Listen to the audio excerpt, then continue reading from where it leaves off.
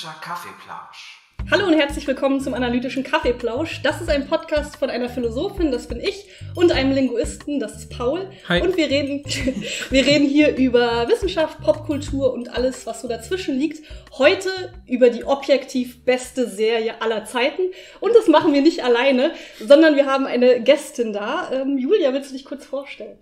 Ja, hallo, ich bin Julia. Ich bin eigentlich Dramaturgin und viel im Theater unterwegs und aber ich denke, das ist dann auch schon die Expertise, die mich qualifiziert, wirklich zu bestätigen, dass es hier um die beste Serie der Welt geht.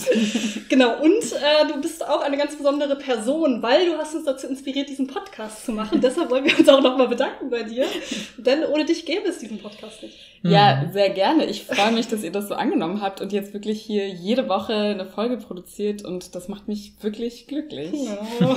Ja, wir, wir, wir sind auch total froh, dass du da bist und einfach mit uns mal diese Freude teilen kannst. Genau, wir teilen nämlich alle eine Leidenschaft zu dieser speziellen Serie und ihr werdet euch jetzt vielleicht fragen, warum heißt dieser Titel so? Rebecca, sagst du nicht immer, es gibt keine objektiven ästhetischen Urteile? Ja. Und das sehe ich auch so.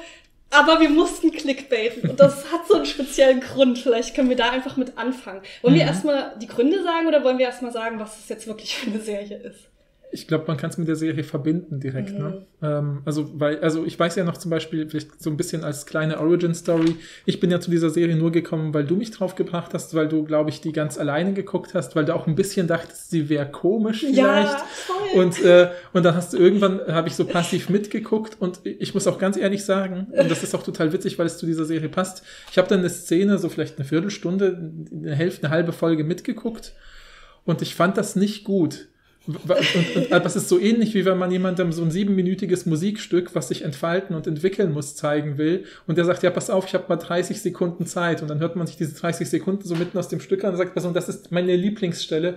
Und wir alle wissen, die funktioniert nur in der Entwicklung dieses ganzen Songs.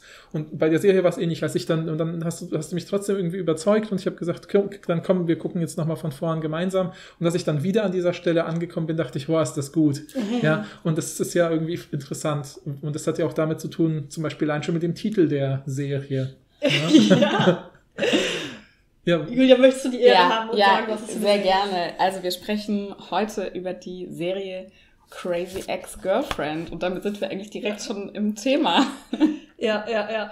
Ja, also erstmal muss ich sagen, ähm, wie ich vielleicht auf die Serie gekommen bin. Ich, mir wurde es tatsächlich irgendwie bei Social Media vorgeschlagen, sowas wie die zehn feministischsten Serien. Und da war das dabei. Keine Ahnung, wo, von welcher Seite das war. Und ich dachte so, mhm, das hört sich überhaupt nicht feministisch an. Aber da hat es halt schon so in meinem Mind war, okay, offensichtlich ist das vielleicht ein Witz mit dem Titel oder so. Oder da ist irgendwas dahinter. Habe ich irgendwann angefangen, die zu gucken. Ähm, aber ich glaube, das Hauptproblem der Serie ist der Titel.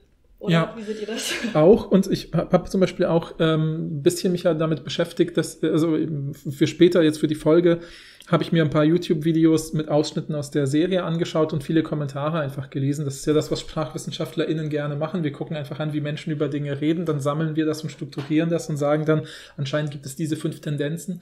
Und eine der häufigeren Bemerkungen war halt einfach, dass voll viele Leute gesagt haben, so, ich verstehe einfach nicht, warum the CW, also dieser Sender ist halt ein Zusammenschluss von CBS, das ist ja ein Einsender, und Warner Brothers auf der anderen Seite, deswegen CW, also Okay, das CBS und Warner ehrlich gesagt.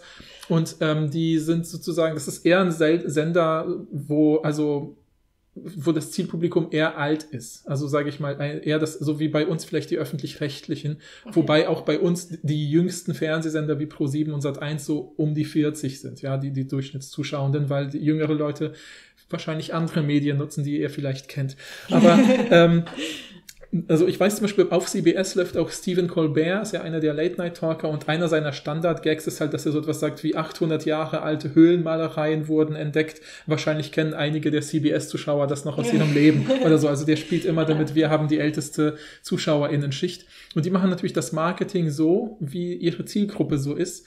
Und ähm, ich habe mir auch mal so ein paar Trailer und, und solche Sachen angeschaut und das Marketingmaterial, was der Sender für die Serie macht, ist echt nicht gut, weil man, weil man wirklich denken kann, das ist genau dieses Klischee, was mit dem Titel Crazy Ex-Girlfriend so assoziierbar ist, dass man denkt, ja mein Gott, da ist halt eine, die so vielleicht ihren Freund stalkt, äh, aber das ist witzig oder sowas, Punkt. Und, und mehr denkt man da nicht. Und natürlich nutzt dann Netflix, der Streamingdienst, auf dem das dann verfügbar ist, das vorhandene Material, weil mal eben so ein Banner zu machen, was im 16 zu 9 Format funktioniert, ist ja auch viel Arbeit. Also nehmen Sie, übernehmen Sie das von The CW produzierte Banner.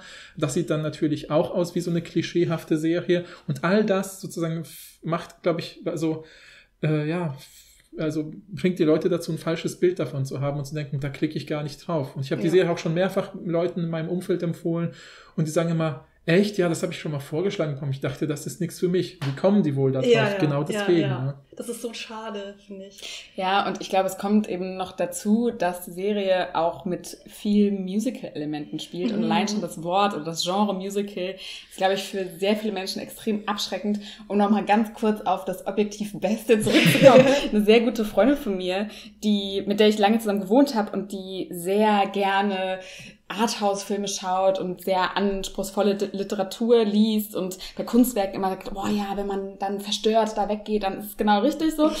Die hat mich eines Tages total überrascht, als sie meinte, du Julia, sag mal, kennst du schon Crazy Ex-Girlfriend? Und zu dem Zeitpunkt hatte ich gerade alles durchgesuchtet und ich fand es so großartig, weil die ist zum Beispiel auch jemand, die hätte sich nie auf etwas eingelassen, was wirklich ein Musical im herkömmlichen Sinne gewesen wäre. Und ähm, diese Rom-Com-Serie, genau, hat vielleicht erstmal so abschreckende Elemente vom Titel über die Werbung bis zu bestimmten Genre ähm, Spezifikationen, aber damit können wir aufräumen heute. Auf jeden Fall. Ich mhm. bin zum Beispiel jemand, ich hasse Musicals. Oder hasse es ein starkes ja, ja, ich, ich, würde, ich würde schon in ein Musical gehen, wenn jemand fragt oder so, aber ich würde nie auf die Idee kommen, selber in ein Musical zu gehen. Ich bin einfach kein Musical-Mensch. Ich finde es komisch, wenn Leute plötzlich anfangen zu singen. Aber die Serie ich weiß nicht, was es an dieser Serie macht, dass ich das total feier, dass ich wirklich bis heute mindestens einmal die Woche mehrere Songs von Crazy Ex-Girlfriend auf YouTube höre. Es ist, ich muss sagen, wie es ist, ich kann die meisten mhm. auswendig. Äh, ich bin plötzlich, ich würde immer noch nicht sagen, ich bin Musical-Fan. Ich würde mir keine Musicals sonst mehr angucken, außer sie gehen vielleicht irgendwie in die Richtung. Aber das ist so speziell, was da passiert und ich hoffe, wir können das irgendwie rüberbringen nach, also in der Zeit jetzt. Mhm. Also ja. ich auch mit dem, das mit dem Musical, was du sagst, finde ich total nachvollziehbar, weil ich, ich glaube, das kennen super viele Leute. Ich kenne das auch so, dass ich, was weiß ich, als Kind natürlich auch total mit irgendwelchen Disney-Filmen aufgewachsen bin und dann immer sowas wie, oh nein, Aladdin ist umzingelt von den Wachen äh, in der Stadt. Was macht er? Er fängt an mit einem Apfel zu jonglieren und tanzt ihnen über so über ihre Schultern hinweg oder so.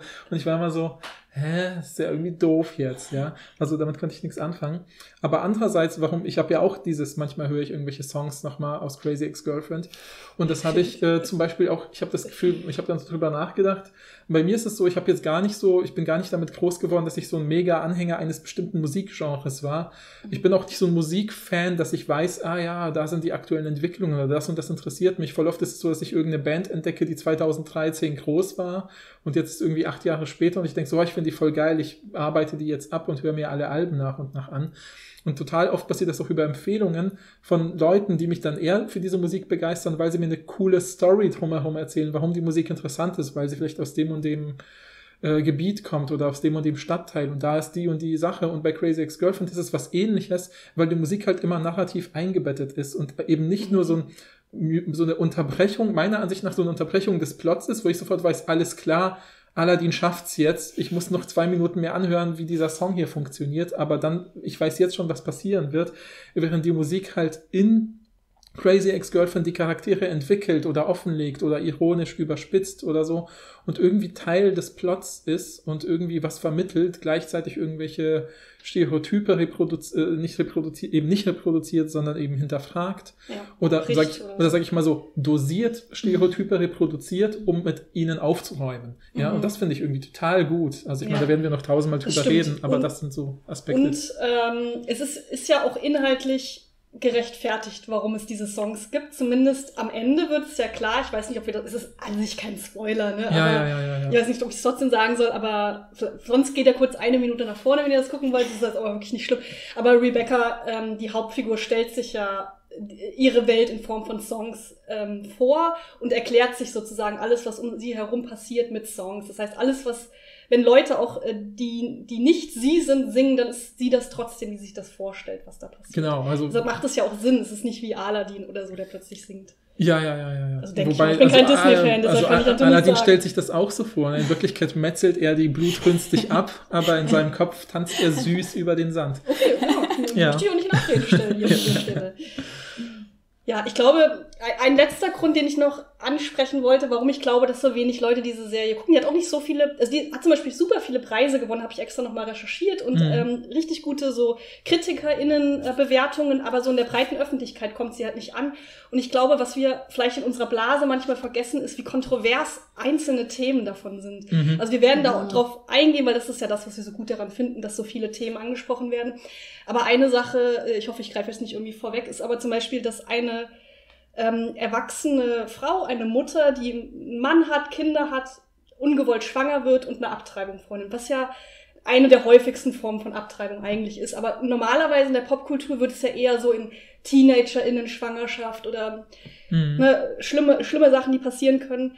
Aber das ist, das ist so dargestellt in so einer ganz normalen Situation. Das ist ja für viele Leute sehr kontrovers. Ja, und ich glaube auch in den USA noch. Und den, ja, genau. Ja, ja, und das vergessen wir so oft. Aber ich glaube, das führt schon dazu, dass manche Leute diese Serie nicht mehr gucken, weil mhm. sie denken, ey, das wird jetzt nicht moralisch geächtet oder was ist hier los mhm. oder so. Mhm. Also ja, du hast ja recht, in der Serie kommen ganz viele Themen vor, die äh, äh, ja potenziell eben ähm, Konflikte, äh, sozusagen äh, auch interne eigene Konflikte äh, bei Einzelpersonen vielleicht auf, herauf, hervorrufen können. Deswegen machen wir auch in dieser Folge eine echt lange, glaube ich, Triggerwarnung, worum ja. es alles gehen könnte. Äh, und ähm, es ist vielleicht auch für euch ganz gut, also bevor wir jetzt sozusagen stärker in die Serie einsteigen und ihr denkt, okay, klingt erstmal spannend, ich wir vertrauen dem analytischen Kaffeeplausch, dass das wirklich die objektiv beste Serie ist, dann hört doch auf, diese Folge jetzt zu hören, hebt sie euch für später auf, schaut euch die vier Staffeln Crazy Ex-Girlfriend an. Und dann kommt wieder zurück ja. und schaut euch in eure, unsere Triggerwarnung an, um vielleicht zu wissen, was, welche Themen euch erwarten sozusagen. Und dann hören wir uns wieder in einem Monat, gebe ich euch so ungefähr. ähm, aber ansonsten werden wir natürlich jetzt schon äh, Ausschnitte daraus spoilern müssen, weil man, glaube ich, sonst nicht angemessen über die Serie reden kann. Ja, aber es ist jetzt, ich würde nicht sagen, dass es wirklich einen Spoiler gibt, der die mhm. Serie versaut. Also, weil das ist nicht Teil der Serie, dass es irgendwas gibt, was plötzlich so revealed wird. Also es ja. gibt zwar Sachen, die plötzlich revealed werden, aber es ist nicht so, dass es die Serie schlechter macht. Ja, meiner ja. Ansicht nach. Zumal, wenn, selbst wenn man am Ende gibt es so ein, eine Wendung sozusagen, die ein bisschen überraschend ist, aber eigentlich ist es auch viel interessanter, wie es dahin kommt genau. und wie sich die Figuren genau, entwickeln. Ja. Und da gibt es jetzt genau eigentlich kaum was, was man so wirklich spoilern kann. Mhm. Genau, sagen wir immer noch kurz die Trigger für Leute, die ähm, eben wissen, dass sie Trigger haben ich sage einfach mal die, die in der Serie vorkommen. Und wenn wir darüber reden sollten, das weiß ich nicht genau, dann werden wir euch noch die Minutenangaben in die Beschreibung ja. schreiben. Also es sind einmal psychische Krankheiten, ich würde sagen Depressionen und Angststörungen vor allen Dingen und Persönlichkeitsstörungen. Mhm. Dann gibt es einen Selbstmordversuch und äh, ich würde sagen, sowas wie Essstörung und Sucht spielt auch eher mhm. im Nebensatz vielleicht eine Rolle, aber trotzdem kann es also Klar, ist es eben ja, in dieser ja. Serie da. Also auch Suchtkrankheiten wie Alkoholsucht und sowas. Genau, ne? ja. Genau, genau, ja. Genau, und wir haben euch natürlich äh, auch Resources in der Beschreibung verlinkt, wenn ihr Probleme habt. Mhm, genau. Ja, wollen wir vielleicht einfach mal den Inhalt zusammenfassen? Fühlt sich jemand mächtig dazu, das ja, ganz kurz zu machen? Ich würde, ich würde gerne kurz den Inhalt zusammenfassen, weil ich finde, das passt auch ganz gut zu dieser Frage, was ist da mit dem Titel los und warum gucken sich die Leute das nicht an, weil Rebecca, die Hauptfigur, ja wirklich dem Stereotyp eines crazy Ex-Girlfriends zu entsprechen scheint. Also sie gibt ihre Karriere für einen Mann auf, den sie das letzte Mal vor, ich weiß gar nicht, zehn Jahren oder was, da waren die Teenies, Fall, ja. genau, mhm. gesehen hat und der sich eigentlich auch äh, am Anfang gar nicht so richtig für sie interessiert.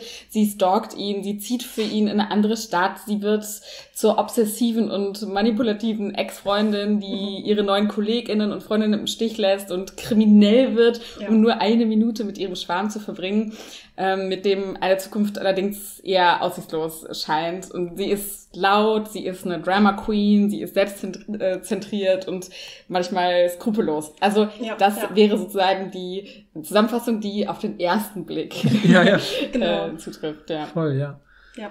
Ja, und ich finde, wenn man das erstmal hört, dann denkt man so, okay, wieso soll ich mir das angucken? Und das auch noch als Komödie, wie soll das funktionieren? Ne? Also, ja, genau. Und warum ja. ist das unter den zehn besten feministischen Serien offensichtlich nach, wer auch immer diese Liste gemacht hat? Ja. Ja, es spielt ja ganz offen mit diesem Crazy Ex-Girlfriend-Trope. Das war übrigens auch ein Grund, warum ich dachte, ich, die Serie ist nichts für mich, weil ich bin, ich bin nicht so ein Rom-Com-Fan. Ich wusste, dass es diesen Trope gibt, eben von so einer verrückten Ex-Freundin. Normalerweise, wenn ich mich recht erinnere, kennt man das ja eher mit der neuen Freundin ne, dass die irgendwie die Hauptperson ist, die irgendwie einen Freund hat und dann gibt es aber diese alte Ex-Freundin, Mhm. die irgendwie immer ins Leben wieder zurückgeht und die Beziehung zerstören will. Das ist ja eigentlich die Perspektive, glaube ich. Stimmt, ja. Ähm, und ich muss sagen, ich kenne da gar nicht so viele Beispiele. Deshalb dachte ich so, okay, wenn das so, ähm, wenn damit irgendwie gespielt und gebrochen wird mit diesem Trope, weiß ich gar nicht, ob ich es verstehe, weil ich das Original gar Mhm. nicht Es so ist wohl auch so eine Art Internetphänomen, dass Typen ihre Freundinnen oder Ex-Freundinnen dabei filmen, wie sie gerade ausrasten oder sie versuchen zu stalken. Oh, okay. Und diese Videos werden natürlich meistens nicht im Konsens mit den Gefilmten aufgenommen, außer sie sind jetzt gestellt, aber dann fragt man sich auch, in was für einer Gesellschaft leben wir, dass man sowas sehen möchte und dass das Mhm. irgendwie Klicks bekommt.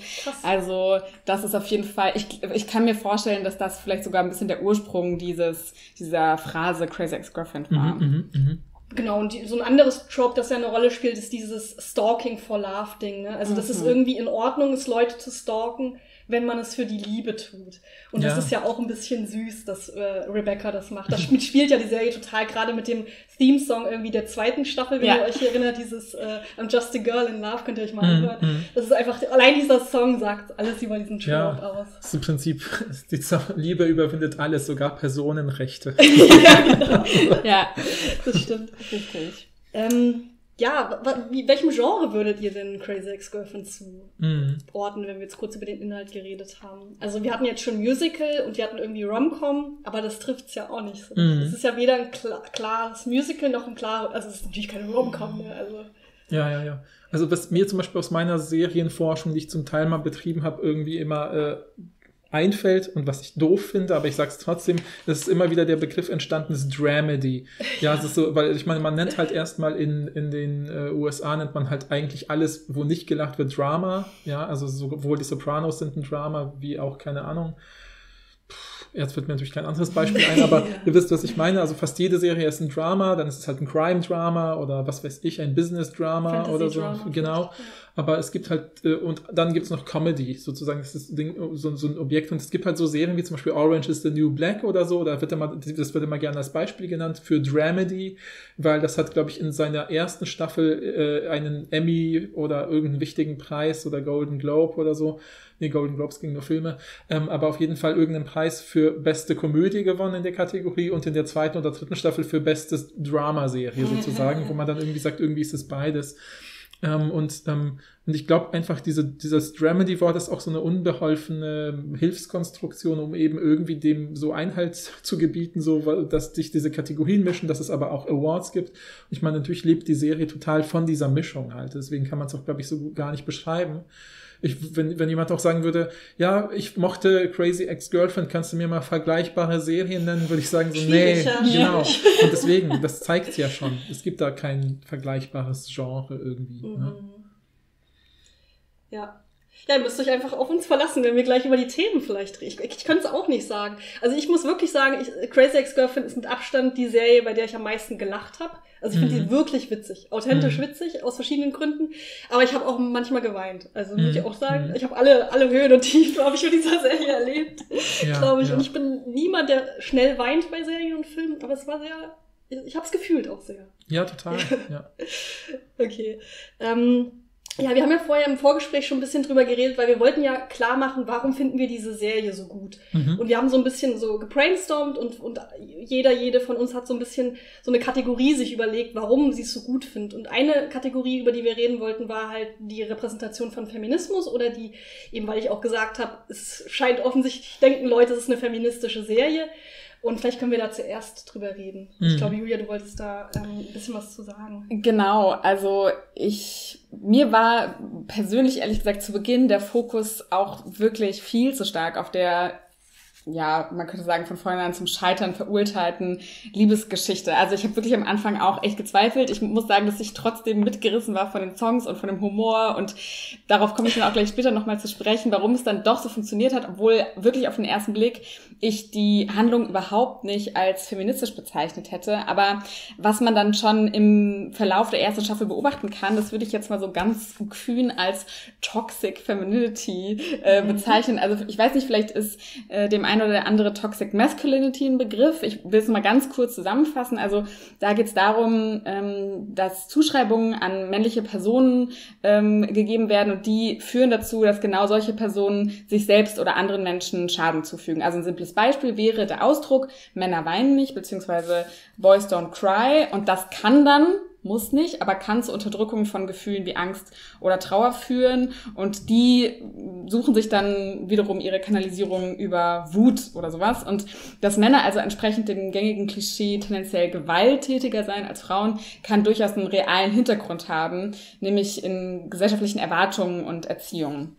Das ist jetzt so ein sehr verkürztes Beispiel, aber ich glaube, es macht deutlich, was wir hier auch bei Rebecca Bunch sehen. Also Vorurteile und Zuschreibungen sind erstmal gesellschaftlich gemacht, das ist keine Frage. Das heißt aber noch lange nicht, dass die keine Realität hätten, beziehungsweise keine realen Auswirkungen auf unser Leben. Und menschliches Verhalten wird einfach durch Erwartungen auch produziert. Und wir sehen Rebecca vor allem erst einmal als weiblich gelesene Person, die sich in einer Gesellschaft bewegt, in der Geschlechterrollen einfach eine große Rolle spielen. Und wie alle Menschen kann Rebecca mal gut und mal weniger gut damit umgehen. Und sie hat als weiblich gelesene Person nicht nur Probleme, sondern sie ist manchmal natürlich auch selbst Teil des Problems. Also wenn sie und ihre Freundinnen den Song Let's Generalize About Men singt, dann wird schnell klar, dass sich die, dass es halt nicht die feministische Antwort auf eine sexistische Gesellschaft sein kann, das alles umzudrehen und zu sagen, ja, alle Männer sind scheiße, da ist jetzt äh, Patriarchat hin oder her, das kann natürlich auch nicht die Lösung sein, aber das merkt man auch sofort. Also ja. die Serie spielt unglaublich viel mit Ironie und wir sehen das als Zuschauerinnen dann und können über diese Widersprüche lachen, weil wir sie natürlich von uns selber kennen. Also wir schimpfen uns in unserer Bubble irgendwie Feministinnen und wenn wir dann, oder okay, vielleicht nur über mich sprechen, aber wenn ich dann Liebeskummer habe, dann verhalte ich mich vielleicht trotzdem wie Bridget Jones oder so. Also das ja. äh, kommt eben vor und auch Rebecca weiß, wie das mit dem Feminismus eigentlich geht. Das beweist sie uns direkt im Vorspann. Also im Vorspann ähm, gibt es so eine Comic-Welt, wo all ihre neu, neuen Freundinnen aus der neuen Stadt, in die sie zieht, eben lustig, fröhlich singen, She's a crazy ex-girlfriend und sie sagt dann sofort ganz empört, ach, das ist aber eine sexistische Bezeichnung, wie könnt ihr denn sowas sagen? Und auch im den Bezug auf das Wort crazy betont sie, dass die Situation natürlich deutlich nuancierter ist. Also sie reflektiert das alles und dennoch kann sie sich eine Zeit lang nicht wehren gegen unvernünftige Entscheidungen, lustorientierte Bedürfnisbefriedigung auch wenn das dann ganz viel kostet und auch viel auf der Strecke bleibt dadurch. Aber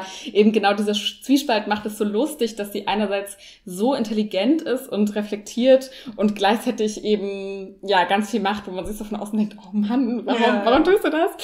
Und ähm, genau, aber das, das ähm, entwickelt sich einfach auch noch total, dieser ganze feministische Ansatz, der da eben im Vorspann schon angelegt ist. Also sie zitiert zum Beispiel, also Rebecca, die Figur, zitiert zum Beispiel die queer-feministische Autorin of Color Roxanne Gay und ähm, erklärt ihrer Anfangsrivalin und dann Freundin Valencia den Begriff Dysmorphophobie, also das ist die Angst davor, sich selbst ähm, äh, hässlich zu finden oder äh, mhm. als entstellt wahrzunehmen. Das ist eine Wahrnehmungsstörung, die oft auch zu Zwangsgedanken führen kann oder zu sozialer Phobie oder Essstörung. Und auch das Thema Abtreibung, das hast du gerade schon ähm, besprochen, wird ohne Scham thematisiert. Also hier geht es eigentlich eher darum, dass Paula, eigentlich eine gute Freundin von Rebecca, ihre Erfahrungen und Gefühle bezüglich des Schwangerschaftsabbruchs eigentlich mit Rebecca gerne, Rebecca gerne teilen würde. Die ist aber halt zu egoistisch unterwegs mal wieder, um sich um ihre Freundin zu kümmern. Also das ist viel mehr im Vordergrund, als jetzt, dass man den Abbruch selbst problematisieren würde. Mhm. Und dann relativ zum Schluss, ich weiß gar nicht, ob es in der letzten oder vorletzten Staffel ist, aber ähm, stellt Rebecca ihrem bisexuellen Single-Freund Daryl eines ihrer Eier zur Verfügung, mhm. als der eben über unkonventionelle Familienplanung nachdenkt. Also ich finde, da geht es dann wirklich schon sehr weit in so eine Repräsentation auch von ungewöhnlichen Lebensplanungen und überhaupt finde ich auch, dass Crazy Ex-Girlfriend so bezüglich Repräsentation einiges zu bieten hat. Also Josh voll, Chan, voll. ne, Rebecca's Love Interest, das ähm, weiß man vielleicht gar nicht so, aber ähm, mit seinem asiatischen Erscheinungsbild ist diese Besetzung wirklich total außergewöhnlich. Also das findet man sonst kaum, einen Haupt-Love Interest ähm, ja, mit ja. asiatischem Phänotyp. Und mhm. ähm, dann finde ich auch noch echt einen richtig coolen Kniff, das ist mir auch erst viel später aufgefallen, aber es gibt eben noch jemand anderes in der Clique, der auch Josh heißt und der wird aber von allen nur White Josh genannt. Ja. Und das heißt, der Josh, der asiatisch aussieht, der heißt einfach nur Josh und der andere, der eigentlich der Norm entspricht, hat aber eine Zuschreibung und wird als das andere bezeichnet, nämlich White Josh. Das finde ich ein total, super einfach, aber das finde ich ein, das ist so gut. total äh, äh, schönen Kniff und ähm, genau, es geht halt auch super viel um Freundinnenschaft. Ich habe es vorhin schon kurz gesagt, es gibt eine Rivalin, die dann aber zur Freundin wird und ähm, es werden ja auch wirklich sehr unterschiedliche Frauentypen, kann man es eigentlich kaum sagen, weil sie wirklich ja individuelle Geschichten haben, auch gezeigt, die sich auch wirklich entwickeln mhm. und auch noch eine tiefe ähm, Tiefe kriegen. Also das heißt, es gibt zwar viel Crazy Ex-Girlfriend Klischee und gleichzeitig wird damit aber immer auch wieder gebrochen. Da werde ich auch später vielleicht, wenn es dann um die Musik geht, dann nochmal mehr zu sagen. Mhm. Und genau, und über das, genau, ich habe jetzt so ein bisschen versucht, über Ex-Girlfriend zu sprechen und über Crazy kommen wir dann auch später nochmal ja, ein bisschen ja, genau. ausführlich zurück. Genau. Nee, voll, voll gute Punkte, die du gesagt hast. Also ich hatte auch, ähm, also wenn ich, als ich so zurückgedacht habe, habe ich schon gedacht, die Serie wird halt äh, immer besser. Ich würde sagen, ab der dritten Staffel, wo es dann auch so krass in ihre psychische Gesundheit reingeht, da ist die halt für mich richtig, richtig gut geworden. Mhm. Aber ich würde trotzdem nicht sagen, dass man so ein paar Folgen aushalten muss oder so. Das würde ich mhm. auch nicht mhm. sagen. So in der Retrospektive denke ich mir so, ach krass, die erste Folge ist ja ganz anders noch. Aber ich glaube, man kann eigentlich von Anfang an schon ganz gut sich die Serie angucken. Ich glaube, mhm. in der mhm. ersten, ist es nicht in der ersten Folge äh, auch schon so, dass es den Sexy Getting Ready Song gibt. Ja, der ist super. Der, ist der schon echt schon in der ersten? Aber ich glaube, der ist schon in der ersten oder zweite Folge. Ja, ja, ja. Und ich finde, der Song zeigt auch total viel von dem, was du gesagt hast. Der ist mhm. ja, also da geht's, äh, ihr müsst euch das so vorstellen, die Folgen gehen immer so 45 Minuten, Stunde. Und es gibt vielleicht so zwei bis drei Songs pro mhm. ähm, Folge. Und es ist dann, also es ist dann so, dass, äh, dass irgendwie so angeteasert wird und dann sind die plötzlich in einem Musikvideo. Also es geht auch aus dieser Situation raus, dann gibt es so ein Musikvideo, manchmal äh, zeigen die dann auch noch so Szenen, die mhm. in der Realität gerade vorkommen, manchmal ist es wirklich ein Musikvideo. Und dann geht es einfach wieder danach in die Serie wieder rein. Äh, und in der Folge, erste, zweite Folge, ist es halt so, dass Rebecca sich für eine Party stylt, auf der eben Josh ist, ihr Love Interest, den sie dann seit Ewigkeit das erste Mal wieder richtig sieht und will sich an ihn ranmachen. Sie weiß zu dem Zeitpunkt auch noch nicht, dass er eine Freundin hat. Ähm, und dann geht's halt in dieses Musikvideo und sie singt den Sexy Getting Ready Song, mhm. der halt erstmal auf den ersten Blick könnte man denken, der ist super sexistisch, weil sich gezeigt wird, wie halt Frauen sich schön machen das ist so für die Männer. Genau. genau sexy genau. Musikvideo, ne? Ja, ja, wir, haben, wir haben enge, körperbetonte ja. Kleider und genau. winden uns vor Wasser und Spiegeln. Genau. So. Und, und, dann wird halt gleichzeitig gezeigt, wie die Männer sich ähm, heiß machen, indem sie einfach schlafen vor der Party und nichts ja, genau, machen und dann genau. halt in ihrem Schlabberhemd dahin gehen oder so. Das, das, aber es wird halt direkt, also dadurch wird schon gebrochen, meiner Ansicht nach, aber auch dadurch, dass man halt dann sowas sieht, wie, dass sie sich die Arschhaare wächst oder so, was halt. Also und es gibt und dann spritzt Blut und, und so. Also und das sieht man ja. auch. Das ist richtig übel. Also es ist auch, es ist auch irgendwie ein kleiner. Also es ist nicht, es Schock. ist nicht so, dass ja, das irgendwie genau, eklig. Genau, es ist nicht so, dass es irgendwie die Leute heiß machen soll, dieser mhm. Song, sondern ja. es ist offensichtlich immer die, diese beiden Ebenen. Und dann gibt's halt irgendwo so einen Rap-Part wo der Typ dann aber ganz am Ende nochmal sich so anguckt, wie die sich alle heiß machen und denkt dann so, wie das macht ihr für uns Männer? Ich habe das Gefühl, ich muss erstmal Simone de Beauvoir lesen oder so. und also, nicht bei ein paar Frauen entschuldigen. Genau, ja, ja, ja. und nicht bei ein paar Bitches entschuldigen. Genau. Ja, ja, also genau. es ist immer dieses doppeldeutige, oberflächlich sexistisch, mhm. aber es ist total subversiv gleichzeitig. Ja. Ich finde, das merkt man ja, total allein an diesem Song schon. Ja, ja, genau. Ich weiß auch noch, dass dieser Song einer der ersten Sachen war, wo ich dachte, okay, es lohnt sich total, diese Serie zu gucken, weil die mega reflektiert ist. Weil es auch wirklich so, und das finde ich, also bei ganz, also das ist mir auch jetzt, als, noch mal, als ich nochmal für die Folge recherchiert habe, was eigentlich nur bedeutet, ich habe mir ganz viele Musikvideos angeguckt, äh, ist mir total gut aufgefallen, wie viel in diesen Songs noch so nebenher passiert. Also so ganz viele Kleinigkeiten, wie zum Beispiel, also so natürlich werden die Stereotype auch dieser Musikvideos total reproduziert, was natürlich ja. auch für unsere Generation interessant ist, weil wir ja voll viel mit Musikvideos auch irgendwie sozialisiert sind äh, und äh, so Repräsentationen von, auch gerade von Geschlechterbildern da ja auch reproduziert werden. Und ähm, aber dann auch so kleine Charakterentwicklungssachen, wo man über so kleine Gesten, also wo man merkt, so, keine Ahnung, bei anderen Songs, ich will jetzt nicht so weit vorgreifen, wo dann Nebenfiguren einfach in der Nähe sitzen von der Person, die singt und man an deren Mimik und Gestik merkt, oh, die realisieren gerade, dass die Person uns was total Ernstes mitteilt, obwohl es ein Happy Song auf der Oberfläche ist. Und äh, ne, also ich weiß zum Beispiel bei diesem einen Song, äh, ähm, wo eben eine der Figuren sozusagen ihren Alkoholismus thematisiert, dass äh, sozusagen eine andere Nebenfigur, die wichtig ist, also Heather sozusagen mhm. im Hintergrund steht, also sozusagen das spielt in einer Bar und das ist so eine in Anlehnung an so einen irischen Trinksong und äh, alle schunkeln so, während er eigentlich was total Trauriges singt, sozusagen, wie er mit seiner Alkoholsucht versucht, irgendwie klarzukommen. Und eine der Frauen, die da im Hintergrund arbeitet, die mit ihm auch befreundet ist, guckt halt immer relativ ernst. Und das ist eigentlich ein Charakter, der äh, relativ emotionslos wirkt vom Gesicht her. Und sie guckt halt immer echt ernst und betroffen, so in so ganz vielen Gesten, auch manchmal so im Hintergrund unscharf. Und es ist richtig gut, dass sie einfach da in Character ist, sozusagen, finde ich. Und man merkt, hey, es ist auch ernst. Und auch irgendwie die Leute, die mitsingen, die so, so, äh, also White Josh sozusagen, der dabei sitzt, äh, sagt auch einmal so total ernst, oh, ich wusste nicht, dass es so schlimm ist. Und dann mhm. singt er wieder mit, aber man merkt immer wieder auch an den Perspektiven und an, der, an den Blicken der anderen, dass die halt voll gut über so Mini- Mimiken und Gestiken und signalisieren, hey, es ist auch ernst. Und dieses Ambivalente dieses Songs, der auf der Oberfläche erstmal nur so happy ist, äh, ähm, wird halt total gut über so Kleinigkeiten mitvermittelt. Das finde ich immer richtig gut. Das ist ja. echt cool. Und gerade bei dem Song merke ich gerade, dass es ja auch wirklich diese gängige Praxis sozusagen in Musicalsprache übersetzt, nämlich, aha, lustig, ich habe hier eine Trinkgeschichte, ha, ha, ha, ha, ha. Mhm. Und dann, dann lacht man so darüber, weil Alkoholismus auch schon so krass in der Gesellschaft angekommen ist und das überhaupt nicht mehr als Sucht bezeichnet wird. Und dann freut man sich, dass man eine gute Story zu erzählen hat und was aber drunter und dadurch eben diese ganze irische Chanting oder wie auch immer, mhm. ähm, ähm, und was aber drunter liegt, ist wirklich ein Problem, was sich die wenigsten dann auch trauen, auch anzusprechen, auch in so einer Runde. Mhm. Ne? Also mhm. dann guckt man vielleicht irgendwie kurz betroffen, aber dann lacht man doch auch wieder mit. Also das, äh, ja, stimmt, voll gut. Mhm.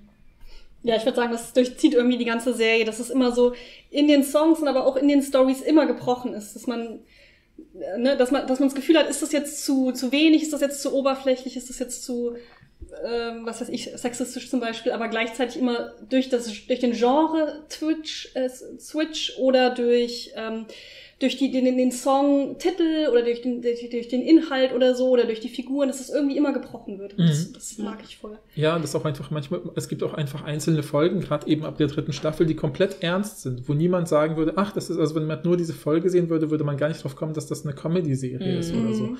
Weil sie einfach wissen, bei diesem Thema ist es jetzt nötig, einfach mal einfach ernst zu bleiben. Und dieser Ernst wird ja auch nur dadurch klar, weil man durch im Kontext der ganzen Serie merkt, ah krass, hier wurde einfach mal nicht gesungen oder hier wurde einfach nur geredet. Ja. Und so, äh, weil die Person, die sich alles als Musical einbildet, hier vielleicht auch mal eine klare Phase hat, wo sie einfach mit ihrem Leben sich konfrontiert und auseinandersetzt. Und hat das plötzlich ein mega krass narratives, ist es sozusagen ein mega krasses narratives Element, das auf Musik verzichtet wird, zum mhm. Beispiel. Und stimmt, das ist ja auch ja, sowas, was man überhaupt sonst nicht irgendwie so, so bedeutungshaft inszenieren könnte, wenn man das nicht hätte. Stimmt, damit finde ich halt sehr, sehr klug einfach immer. ja. ja. ja stimmt.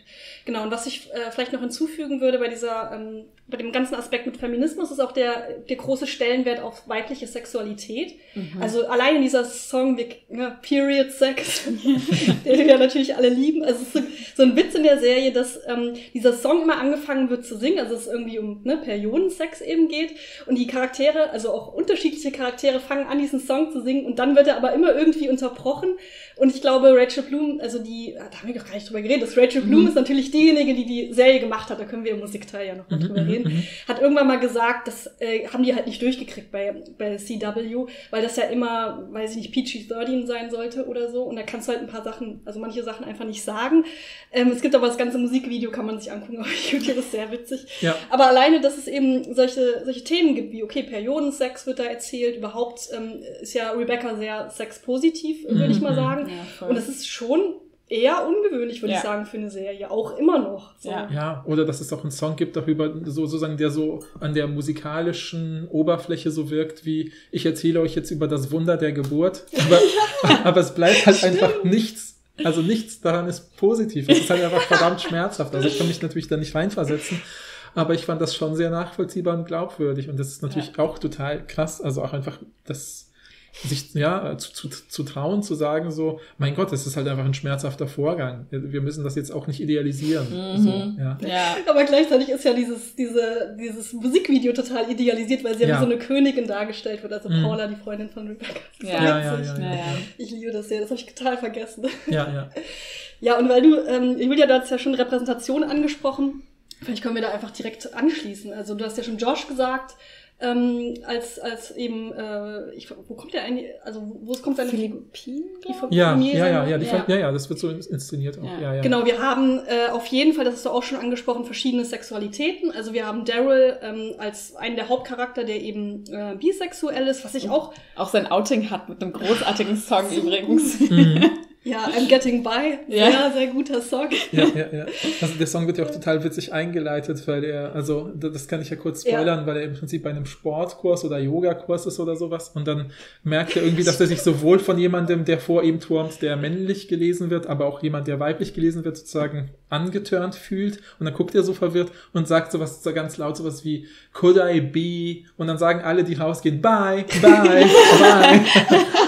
Und, und, dann, dann ist er sozusagen, dann wird, wird es ihm sozusagen klar. Und, äh, ähm, und dann, äh, naja, outet er sich quasi bei seinen KollegInnen, was ja total w- witzig ja auch ist und so.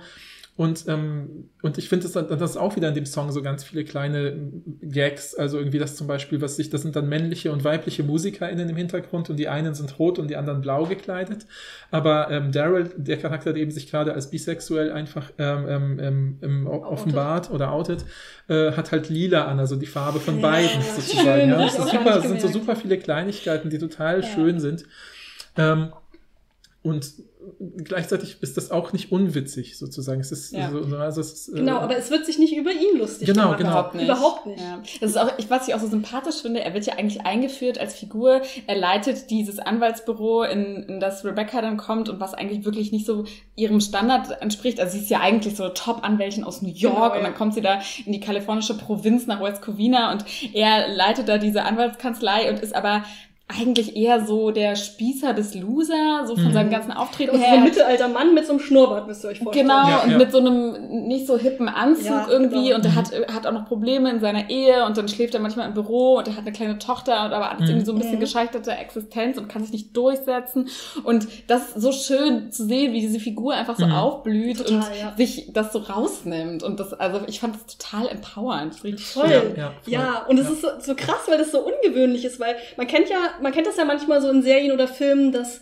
Charaktere, die irgendwie lange in einer heterosexuellen Beziehung sind, sich dann plötzlich in Anführungsstrichen in das gleiche Geschlecht verlieben und dann wird halt gesagt, ah, sie waren von Anfang an wohl äh, schwul zum Beispiel. In dem Ja. Fall. Mhm. Und bei, bei Daryl ist es einfach klar, dass er halt bi ist. Ja. Und er Ja. hat dann was mit Männern und dann hat er später mal wieder was mit einer Frau und das ist so Mhm. halt Ja. normal natürlich. Aber es ist so wenig Repräsentation von bisexuellen Charakteren, habe ich das Gefühl, immer Ja. noch. Ja. Ähm, und dass wir das, dass man das so groß hat mit mehreren Songs, ist halt cool, mit mehreren Storylines auch. Ja. Ja. Und äh, Daryl ist ja auch nicht der Einzige. Wir haben noch Maya, ähm, die ist ja, glaube ich, auch bisexuell. ja, ja, ja, ja. Ah ja. Genau. Ah. Wir haben ja- noch einen Charakter, ich weiß nicht, ob wir das spoilern wollen, aber Nee, ne, aber das wir würde ich nicht spoilern, aber ich kann Okay, ja wir wissen so, aber, von wem genau, wir reden. Genau. Und das ist genau das Coole ist ja, dass das dann eben nicht mehr so thematisiert wird. Also bei, Ja. weil bei auch das Daryl es so thematisiert und explizit macht, passt zu seinem Charakter. Mhm. Aber es wird auch quasi bei vielen anderen Charakteren, zum Beispiel eben bei White Josh, der eben homosexuell Ja, ist, genau. wird, der, der ist halt eben mal, der, der muss sich, es gibt eine super schöne Szene, weil sich eben Daryl in White Josh verliebt und dann wollen, als sie versuchen zusammenzukommen, sagt, aber Daryl sich noch so sträubt, weil er bis jetzt ja noch nicht lange äh, geoutet hat, dann sagt White Josh irgendwann so, ey, pass auf, ich habe mich einfach irgendwann schon, äh, da, ich bin damit total klar, was meine Identität Mhm. ist. Ich werde jetzt für dich nicht irgendwie zurück in den Schrank, also back to the Mhm. closet gehen. Du musst jetzt damit klarkommen, so. Und das finde ich irgendwie total cool, also dass da einfach der Charakter das da ganz selbstverständlich hat. Und ich finde es auch witzig, weil, also, wir wollen zwar später über äh, Lieblingscharaktere sprechen, aber ich will, ziehe es jetzt schon mal vor, weil ich jetzt eh über den Charakter reden will. Ich finde, White Josh ist halt einer meiner Lieblingscharaktere, weil ich finde, äh, am Anfang denkt man halt so, das ist nur dieser Gag mit, ha, es gibt den äh, äh, Haupt-Josh sozusagen und dann ist da noch White Josh, der irgendwie auch nur ein durchtrainierter äh, Typ ist. Man denkt, das ist halt so ein dummer Muskelprotz. Ja, genau. Surferboy. Ja, Ja, ja, genau. aber auch so ein bisschen dümmlich, weil der am Anfang Ja. redet der nur über Sport und über nichts anderes. Man denkt Ja. halt, der ist super unterkomplex. Ja, genau, genau. Und mit der Zeit merkt man irgendwann, boah, ist das ein cooler Charakter einfach. Ja. Weil, weil, er, ja. weil er einfach äh, differenziert ist und weil er oft auch einfach so mit die vernünftigsten äh, Ja. Ratschläge Voll, gibt, wenn, ja. wenn Mega Leute gefragt ist. Ja, genau, genau. Ja. Und der ist einfach so, das, da ist einfach jemand gesettelt, weiß, was ja. seine Identität ist und kann damit umgehen so. Und, äh, und das ist halt, halt auch oft super oft in so Narrativen mit Leuten, die eben keine als Norm wahrgenommenen Identitäten haben. Die sind natürlich immer davon bewegt und unruhig und kommen nicht mit ihrem Leben klar und scheitern hier und so. Und hier ist halt einfach jemand, der, ein, der, der einfach normal lebt. Punkt. Mhm. So, ja, und das finde ich äh, äh, stimmt, stimmt, äh, total, total gut gemacht. Ja. Ja, und ich finde es cool, dass diese Repräsentation so bis in die Nebencharaktere eben reingeht. Wie gesagt, bei Maya, die eigentlich keine große Rolle spielt, leider. Ich finde sie auch eine interessante Person. Mhm äh, aber die von Anfang an als bisexuell eben äh, eingeführt wird. Und dann haben wir AJ, ich weiß nicht, ob ihr euch an AJ erinnert, Klar, ja. ähm, mit dem Brezelstand. Mhm. Ähm, ah, und da ja, bin ich mir stimmt. immer nicht sicher, ob AJ vielleicht als ähm, nicht-binäre Person mhm. eingeführt wird. Auf jeden das kam Fall. so irgendwie für mich rüber, aber es wurde, wurde nie thematisiert, genau. was ich irgendwie aber cool fand. Und vor allem ja. nicht problematisiert. Ja, genau. Also man, man kann das irgendwie vermuten, aber ehrlich gesagt, jetzt denke ich auch gerade so, es geht mich doch auch gar nichts an. Ja, genau. ja, genau. Also, ne? Aber es ist halt eine Repräsentationsfigur, die man haben kann, wenn man selber ähm, sich da identifiziert. Ich finde, das zeigt halt auch genau diese Klugheit von Crazy Ex-Girlfriend, weil so typische dramaturgische Elemente, dass man zum Beispiel, wofür sind typischerweise Nebenfiguren da, um die Hauptfiguren sozusagen, so, sag ich mal, so Plotträger für die, für die Hauptfiguren zu sein. Aber hier haben diese einfach eigene Persönlichkeiten und das ist ja die Stärke, dass man sagen kann, so, pass auf, es gibt auch einfach Menschen im Leben, die haben eine andere Identität, so what, die gibt's auch, nimm's hin, weißt du? Also man muss mhm. sozusagen nicht, äh, man kann sozusagen Nebenfiguren nutzen, um zu zeigen, das ist ist normal, dass es diese genau. verschiedenen Menschen und verschiedene Identitäten gibt und muss nicht aus jeder äh, halbwegs abweichenden oder nicht als Norm wahrgenommenen Person gleich einen riesen Plot machen, der jetzt wieder mega thematisiert, ja, ja. dass das eigentlich schwierig ist, bla bla, sondern es ist einfach. Ich finde ich so angenehm ja, irgendwie. Auch genau. wenn man sich mal die die Hintergründe anguckt, zum Beispiel von den Musikvideos, wie divers die äh, einfach die StatistInnen sind. So. Mhm. Also mhm. sowohl von, äh, also in Bezug auf People of Color, aber auch ähm, wenn, wenn die einfach nur einen kurzen Satz manchmal haben, wenn da alle möglichen Sexualitäten und Geschlechtsidentitäten abgebildet, das finde ich so schön. Ja. Mhm. Das fällt einem so positiv auf. Ich weiß nicht, wenn wir gerade bei Repräsentation äh, sind, ob wir vielleicht einen Punkt vorziehen wollten, den wir nach hinten, also nach hinten in der, in der Reihenfolge setzen wollten, nämlich den Bezug zum, zur jüdischen Kultur vielleicht, weil das hat, ist ja mhm. auch Repräsentation. Ne? Also weil Rebecca wird eben äh, hat, hat, einen jüdischen Hintergrund ähm, und das spielt auch ein bisschen eine Rolle. Vielleicht mhm. können wir da kurz drüber reden. Total, mich hat das auch voll neugierig gemacht, ja, obwohl oder vielleicht vor allem, weil ich mich auf dem Sektor eigentlich überhaupt gar nicht auskenne und deswegen muss ich jetzt auch gleich dazu sagen, also ich habe wirklich, ähm, ich kann nur auf Literatur verweisen, also da geht es gar nicht um meine eigene Lesart, ich kann jetzt nur versuchen, hier so ein bisschen zu zitieren, aber da habe ich einfach ähm, interessante und vor allen Dingen auch vielfältige Stimmen dazu gehört. Also zum Beispiel die ähm, Veröffentlichung von Jennifer Kaplan vom Institut für Philosophie und Theologie oder auf Englisch heißt es Religious Studies, ich habe es jetzt mal mit Theologie übersetzt, weiß nicht genau, mhm. an der Townsend University in den USA. Und Kaplan und ihre Kolleginnen, die haben sich wissenschaftlich eben mit der Repräsentation jüdischen Lebens bei Crazy Ex-Girlfriend auseinandergesetzt und haben darüber einen ganzen Band veröffentlicht. Und die kommen da auch zu ganz unterschiedlichen Schlüssen. Also Shani Zorev, ich hoffe, ich äh, spreche es richtig aus, entschuldigt, falls nicht nicht. Äh, beispielsweise, die liest die Serie als moderne Fortführung der jüdischen Tradition der musikalischen Bedeutungsgebung. Also da gibt es wohl im Alten Testament ähm, einfach genau die Tradition des Singens und auch äh, Singen über Identität, Singen über verschiedene Dinge, die man erlebt hat, um die eben zu verarbeiten.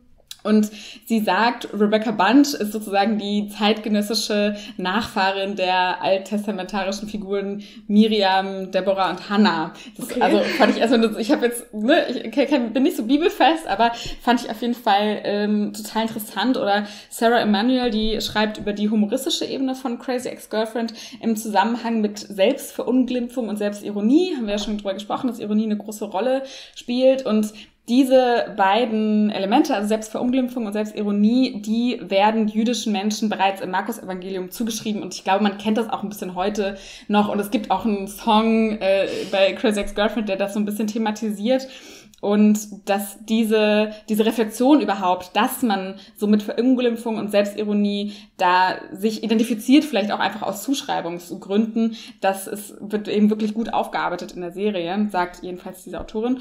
Und Samantha Piquette betrachtet die Serie ein bisschen kritischer und sie beobachtet eher eine Fortführung von alten Klischees. Also mhm. ähm, bis heute gibt's ja in der amerikanischen Popkultur so dieses, ähm, die Jewish American Princess, ähm, also so ein bisschen die privilegierte, gebildete, äh, aber verzogene und verwöhnte Göre, als die man Rebecca am Anfang durchaus auch sehen kann. Und ähm, die Autorin schreibt eben auch, dass sie in der Serie einen Zusammenhang zwischen Rebeccas Psychosen und ihrer jüdischen Identität sieht. Und es ist tatsächlich auch so, dass Rebecca immer mehr Ich-Stärke und Zufriedenheit entwickelt, je mehr sie sich von jüdischen Charakteren löst. Jetzt muss man natürlich auch sagen, ihre Mutter ist, also die, es gibt eine eher toxische Mutter-Tochter-Beziehung.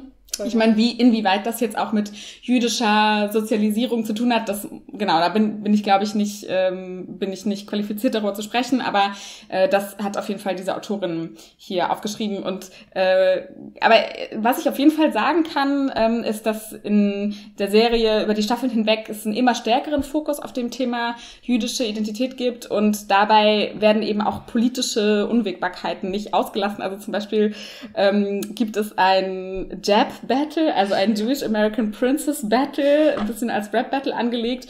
Und da wird eben einerseits dieser Trope der ähm, Jewish American Princess, also der jüdisch-amerikanischen Prinzessin, äh, thematisiert, aber es wird eben auch der Konflikt zwischen linksprogressiven Idealen und der Unterstützung von Israel-Politik mhm. thematisiert. Also das wird natürlich nicht gelöst, weil das ist viel zu komplex, das kann man nicht lösen, aber überhaupt, ähm, dass die Serie das einfach mitdenkt und dass sie weiß, es gibt da Widersprüche. Also ich glaube. Widersprüche ist sowieso ein sehr wichtiges Thema in der Serie. Auf jeden Fall, ja. Ja, ja. Also ich bin auch darauf gestoßen bei den Recherchen, dass das so äh, ambivalent gesehen wird, diese Darstellung. Ne? Also auch mit ähnlichen Argumenten, wie du sagst, ne? dass man eben sagt, okay, die, sobald sie anfängt, äh, nicht mehr versucht, was sich ihrer Mutter was zu beweisen oder äh, sich ständig mit ihrer sozusagen besten Frenemy sozusagen, mit der sie aufgewachsen ist, also Audra Levine sozusagen zu identifizieren, desto eher kann sie sich sozusagen selber frei entfalten mhm. und so. Aber ähm, äh, gleichzeitig gibt es eben auch die Leute, die hinweisen, so, ne, zum Beispiel, dass es ja diesen äh, Jab-Battle zweimal gibt in der Serie, sozusagen beim zweiten Mal ja auch so ein kurzer, kurzes Zwischenspiel ist, wo sie kurz ja. die Musik unterbrechen und sozusagen äh, Rebecca Bunch in die Kamera sagt, oder die beiden eigentlich in die Kamera sagen, also wir wissen auch, dass dieser Begriff problematisch ist, aber wir versuchen den hier zu reclaimen. Ja. ja? Und, äh, das stimmt, und, das, und so. das wollte ich auch gerade sagen. Das, genau, äh, das ist dann genau. total, also, also man merkt natürlich, dass die, also auf jeden Fall ist ähm, sozusagen, äh, wie heißt jetzt äh, die äh, Rachel Bloom. Rachel Bloom sozusagen ist gegenüber diesen Sachen nicht naiv oder blind gegenübergestellt, sondern sie ja. sieht offensichtlich, dass sie da, äh, was sie da versucht zu machen und reflektiert das. Ist und ja auch, auch äh, jüdisch aufgewachsen. Ja, ja, genau, genau. Und das ist sozusagen die, die, also das ist natürlich genau das, also dass ich auch, ich habe sozusagen diese beiden Positionen mhm. gefunden. Ne? Das, und ich denke natürlich, ne, das ist wieder dieses, ist ja auch bei den anderen Themen ja auch, also so gerade, da haben wir schon drüber geredet, dass diesen, wie soll ich sagen, ja, ich wollte jetzt nicht sagen Qualitätsumbruch, aber sozusagen, es gibt ja, ich habe das Gefühl, die Serie wird von Anfang an, fängt gut an und wird immer besser. und es lebt halt auch davon, dass es mit so Stereotypen anfängt. Es lebt davon, dass man mhm. eben am Anfang White Josh eben als so einen muskelbepackten Typ, äh, der vielleicht nur doof ist, erlebt und dann denkt man so, oh Gott, jetzt ist der auch noch homosexuell. Hot, hot guys have problems too, sage ich dazu. ja, genau, genau, das ist ein anderer Song, genau. Und dann, dann habe ich auch gedacht, so, oh nein, jetzt ist er auch noch homosexuell, das ist ja eine blöde Darstellung. Und dann habe ich ja gemerkt, ah nee, aber die Art, wie er mit seiner Homosexualität umgeht, macht diesen Charakter insgesamt stärker und, und, und, und also sozusagen als, als repräsentative Figur und so. Und das fand ich halt, äh, und das ist ja bei vielen anderen Themen auch so, dass man denen einfach Zeit geben muss und man merkt einfach, die Differenziertheit kommt noch oder sie ist eigentlich schon da, man sieht sie nur noch nicht, mhm. weil man natürlich vieles durch die Brille von eben der Hauptfigur sieht, die die Personen erst einmal auch nur, nur im Prinzip nimmt sie ja in der ersten Staffel alle Leute nur als Hindernis auf dem Weg zu Josh wahr. Ja. Und deswegen sind alle so eindimensional, weil wir alles aus ihrer Perspektive sozusagen sehen. Ne? Und das, ja, ja. ja. Und solche narrativen Mittel sind ja dann cool, weil dann die, genau diese Differenziertheit erst sich entfalten kann und vielleicht auch mehr Leute abholt, äh, als man, wenn man von Anfang an mit Leute mit 16 komplexen Charakteren überfordert oder so. Ne? Bestimmt, ja. Ja, ich, ich gehe dann immer an so an solche, wenn, wenn, wenn da so Widersprüche da sind, frage ich mich immer, was ist, wenn eine Person komplett gegenteilige Einstellung hat als ich. Also zum Beispiel super sexistisch ist oder super rassistisch oder ähm, oder antisemitisch oder so, kann die die Serie auch gucken und sagt dann auch, ja, genau so ist das doch. Genauso mhm. wie ich das sehe, aber aus der komplett gegenseitigen äh, Warte. Und da würde ich halt bei Crazy Ex-Girlfriend sagen, auf keinen Fall. Mhm. Also ich glaube, man kann es nicht gucken, wenn man sexistisch eingestellt, mhm. also krass sexistisch eingestellt mhm. ist. Ich meine, wir haben ja alle unsere Vorurteile Klar, internalisiert, ja. aber jetzt offensichtlich sexistisch oder rassistisch oder antisemitisch. Ich, ich glaube, es funktioniert nicht. Und das zeigt ja, für, also meiner Ansicht nach, und das zeigt ja schon, dass die Serie eigentlich immer reflektiert genug ist, dass das nicht passiert. Ähm, inwieweit es dann manchmal in Klischees reingeht, gerade zum Beispiel mit der äh, zu involvierten mu jüdischen Mutter, mhm. das ist natürlich da so, die ja auch äh, da super problematisch ist in Bezug auf Essstörungen zum Beispiel. Das stimmt, dann, dann, das musste man sich dann irgendwie im Detail angucken. Aber ich glaube, so eine generelle, generelles Problem sehe ich eigentlich, glaube ich, nicht. Mhm. Ja. Also was mir immer auffällt, und das finde ich so wahnsinnig sympathisch, es gibt einfach so viele Serien, Filme, Bücher, was auch immer, in denen man sich über andere lustig macht. Und das ist aber eine Serie, in der ich mich ganz viel über mich selber auch lustig mache. Und das ist halt so, oder wo ich auch das Gefühl habe, ähm, äh, dass Rachel Bloom, also ganz kurz noch dazu, die Rachel Bloom hat mit ihrer Kollegin Aline Brosh-Kenner zusammen die Drehbücher geschrieben mhm. und mit ihrem Kollegen Jack Dol Dolgan zusammen die Songs geschrieben und sie spielt die Hauptrolle und sie produziert die Serie. Also ja. sie hat wirklich, sie ist Schöpferin, sie hat dieselben dieselben Initialien wie die Hauptfigur, das ist sicher auch kein Zufall. Sie ja. ist selbst auch ähm, äh, genau jüdisch aufgewachsen. Ähm, aber ich habe wirklich das Gefühl, dass Rachel Bloom hier nicht sich über andere lustig machen wollte, sondern vor allen Dingen erstmal über die eigenen Vorurteile, die sie so mitbringt in ihrem Leben und auch die die eigene Bubble mitbringt. Und mhm. das finde ich absolut sympathisch in einer Zeit, wo man so viel andere korrigiert oder äh, cancelt oder so. Mhm. Und das mag ich einfach wirklich gerne. Mhm. Ja, genau, wie du gesagt hast, man fühlt sich so selbst über äh, überführt irgendwie, weil, mhm. wo du vorhin gesagt hast, wenn, wenn man Liebeskummer hat, dann geht man trotzdem zurück in die Klischees und hasst die neue Freundin, die ja so sexy ist wie Valencia oder so. Genau. Oder, oder, oder, man researcht die neue Freundin. das war sehr relatable. Und was ich leider auch super relatable finde, ist dieser Song ähm, You're such a stupid bitch, mhm. den sie über sich selber singt. Und es ist so traurig, aber es ist so relatable, dass man mhm. manchmal so das Gefühl hat, man, man ist so eine furchtbare Person, wenn man so einen kleinen Fehler gemacht hat und denkt sich so, Alter, ein bisschen abnehmen könntest du auch noch. Und das fühlt sich so real an, mhm. dass man sich mhm. selber damit ähm, über, überführt irgendwie und denkt, ja. scheiße, du bist auch so. Aber das ist total heilsam, weil man einfach diese Figuren ja. sieht, die, zu denen man dann irgendwann auch eine Beziehung aufbaut, die man toll findet und man dann, ja, okay, denen geht's halt genauso. Ja, ja. ja. Sehr schön. Ja.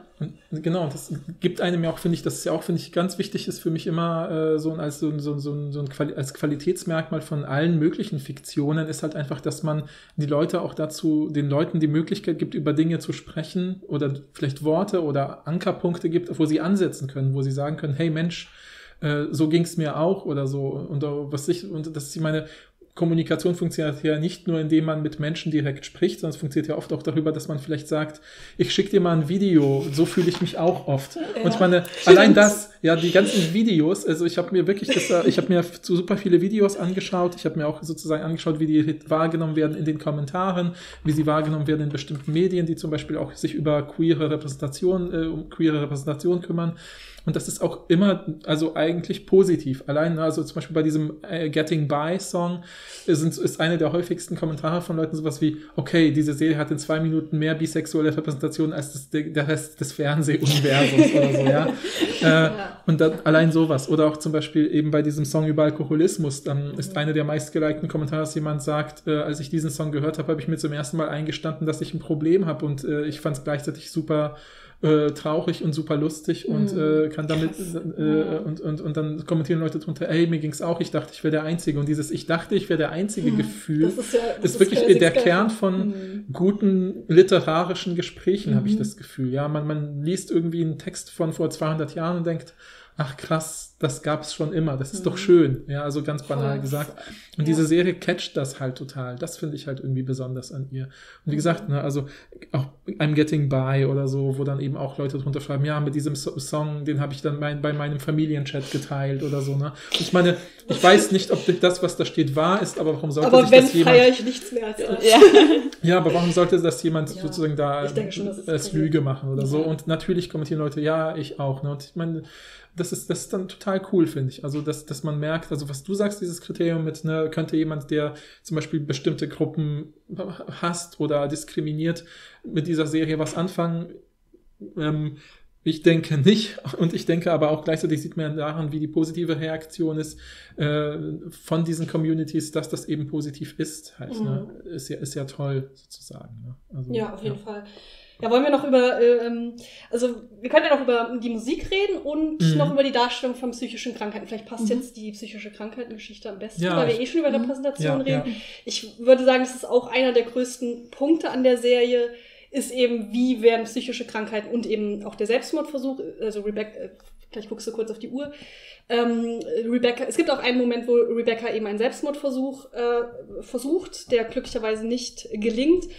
Ähm, und danach wird sie eben, äh, bekommt sie eine Diagnose. Also es ist das erste Mal, dass, dass sie dann wirklich wirklich Hilfe sucht und auch bereit ist, Hilfe äh, anzunehmen und äh, bekommt eine Diagnose. Ich ähm, weiß nicht, ob wir die. Es ist, Ist blöd, auch das als egal. Spoiler zu bezeichnen. Ich will Ja. auch nicht so viel darüber reden, weil ich kenne mich da viel zu wenig aus. Mhm. Aber ich finde es, also erstmal finde ich es cool, dass ähm, das mal so wirklich durchdacht wird, wenn jemand so eine Besessenheit einer anderen Person gegenüber hat, das ganze Leben aufgibt, um in einen anderen Ort zu ziehen, um dem Teenie-Schwarm nahe zu sein. Was heißt das eigentlich Mhm. so? Das wird ja Mhm. bei diesen ganzen Rom-Coms wird ja nie ge gedacht, ja, was, äh, das ist halt eine crazy Ex-Girlfriend, aber was ist dieses crazy genau? Da wird ja nie drüber geredet Mhm. eigentlich. Und ich finde das total smart, dass sie das hier machen und einfach Mhm. mal gucken, ja, aber was, was bedeutet das eigentlich für sie? Was könnte die Diagnose sein und wie kann man ihr eigentlich helfen? Das finde ich total gut. Ähm, und ich habe ein bisschen recherchiert, es ist ähm, Rachel Bloom und ähm, wie heißt nochmal die andere? McKenna, ne? Ja, genau. Mhm. ähm, haben halt super viel dazu recherchiert und haben mehrere ExpertInnen, also sowohl äh, TherapeutInnen als auch überhaupt Leute, die sich irgendwie damit auskennen, konsultiert, um zu gucken, welche Diagnose passt, wie können wir das irgendwie erklären und wie können wir, wir wollen diesen Selbstmordversuch ähm, thematisieren, weil das uns irgendwie wichtig erscheint, da auch auf eine gute Art und Weise drüber zu reden, wie können wir das eigentlich schaffen, das nicht zu romantisieren zum Beispiel, das Mhm. nicht irgendwie harmful ähm, darzustellen und haben das, finde ich, total gut geschafft. Also Mhm. ich habe, ich muss wirklich sagen, ich habe noch nie so eine gute Darstellung von psychischen Mhm. Krankheiten wie bei Crazy Ex-Girlfriend gekriegt. In Bezug auf Depressionen, Angststörungen Mhm. und eben auch die spezielle Persönlichkeitsstörung, die sie dann eben hat. Ähm, das finde ich wirklich gut gemacht. Und auch Mhm. da habe ich eben äh, gelesen, dass super viele Leute sich damit identifiziert haben und Mhm. gesagt haben, krass, äh, mir geht es genauso, ich glaube, ich brauche Hilfe oder so. Mhm. Und das finde ich so krass. Und es man wird so halt auch nicht durchdenkt. benutzt für einen Lacher oder so, ne? Ja, sondern ja, es ja, ist halt ja. komplett, es wird total ernst genommen, es wird sehr sensibel behandelt Total. und das muss man dann auch erstmal sich trauen, in Anführungszeichen, bei so einer Serie, die irgendwie auch von wirklich viel Humor, von Ironie und so lebt, dann da eben keinen ironischen Scherz drüber zu machen oder das irgendwie zu benutzen, sondern wirklich als das zu nehmen, was es ist. Ja. Genau, und ich finde halt, dass, dass man total gut diese Up und Downs sieht. Also Rebecca ist eigentlich von der ersten Staffel an in Therapie, aber es funktioniert halt sehr lange nicht, weil sie sich nicht drauf einlässt. Also sie Mhm. ist ja immer bei der Therapie und geht sie einfach immer wieder. Und die Therapeutin, die ich auch sehr liebe, Dr. Copian, ist, glaube ich, meine Lieblingsnebenfigur, ist so frustriert die ganze Zeit, weil sie ihr eigentlich, sie kann ihr halt einfach nicht helfen, weil sie eine legitte Therapeutin ist, die auch super dargestellt wird, finde ich, in der Mhm. Serie, die halt sagt, ich kann dir halt nur helfen, wenn du ehrlich mit mir bist und Ja. erzählst, was geht da eigentlich ab mit Josh. Ja. Und das kann Rebecca einfach sehr lange nicht. Mhm. Ähm, und irgendwann schon, aber es ist halt nicht so, dass sie, sie bekommt irgendwann die Diagnose und dann gibt es den wunderbaren Song A Diagnosis, den ich sehr liebe, den müsst ihr euch auch alle anhören, wo sie halt total erleichtert darüber ist, dass sie jetzt endlich einen Namen hat für das, was sie das ganze Leben lang gefühlt hat, was, glaube ich, viele Leute, also wo viele Leute irgendwie mit connecten können. Und gleichzeitig ist es aber nicht so, dass das die Lösung ist. Das finde Ja. ich so gut von der Mhm. Serie, dass sie Ja. nicht sagen, ach, jetzt ist ja alles okay, sondern das, was als nächstes passiert, ist, dass Rebecca aufs Klo geht, ihre Diagnose googelt und einen Nervenzusammenbruch hat, weil sie denkt, oh mein Gott, das ist jetzt mein Leben. Ja. Und dann ähm, merkt man irgendwie, also es wird dann thematisiert, wie sie zur Therapie geht, dann hat, läuft alles richtig gut, dann läuft alles wieder schlechter, dann wird darüber geredet, ob sie Medikamente nehmen muss, dann wird's wieder schlechter, dann wird's wieder besser. Und diese Up and Downs kam, kam mir sehr realistisch vor. Ja, absolut. Ja, und ich fand es ja auch cool, dass zum Beispiel dieser Therapeut dann sagt, bitte googeln Sie es nicht, das, weil, weil tut blöd ist und sie macht es natürlich und so, ne? dass es einfach eine sehr realistische Darstellung ist Mhm. eben. Dass es eben so ein sehr wichtiger Schritt ist, aber eben nicht alles, das reicht noch nicht. Und ich meine, es gibt ja super viele Serien und Darstellungen, wo dann plötzlich alles gut ist oder so. Ne? Und mhm. ich meine, auch dieses, ich finde es auch total gut, dass sie immer wieder äh, zu dieser Therapeutin Dr. Akropian geht und man auch einfach sieht, das reicht noch nicht, weil es eben Teil von bestimmten äh, ähm, äh, Krankheitsbildern ist, dass Leute sozusagen ähm, Therapien ja auch, wie soll ich sagen, für sich instrumentalisieren, um ihr Krankheitsbild zu verstärken in gewisser Weise. Das ist ja auch so ein typischer Effekt, also dass, dass man ja auch irgendwie da vorsichtig sein muss, wie man mit diesen Leuten umgeht oder so. Ich mhm. meine, ich habe nur im Nebenfach Psychologie studiert, aber soweit weiß ich, dass es eben eine verdammt lange und gründliche Ausbildung ist, dass man so, dass man, weil man natürlich nicht weiß, wenn jemand kommt, welches Krankheitsbild hat die Person. Und dann muss man super vorsichtig damit sein, welche Ratschläge man gibt, weil natürlich ist unklar, was kommt bei dieser Person an, wie wird sie das für sich interpretieren und so. Ne? Und das ist halt einfach ein verdammt langer Prozess. Und dass, sich, dass man sich in der Serie eben auch mal sagt, ja, das dauert jetzt halt zweieinhalb Staffeln sozusagen, äh, um das Ganze zu, zu halbwegs und, sage ich mal, nicht mal zu klären, mm. aber nur um die Person, sage ich mal, den richtigen Weg zu weisen. Mm. Das ist schon der Prozess, ja, mehr passiert ja, ja eigentlich ja. noch nicht. Ja, ja stimmt. stimmt, ja.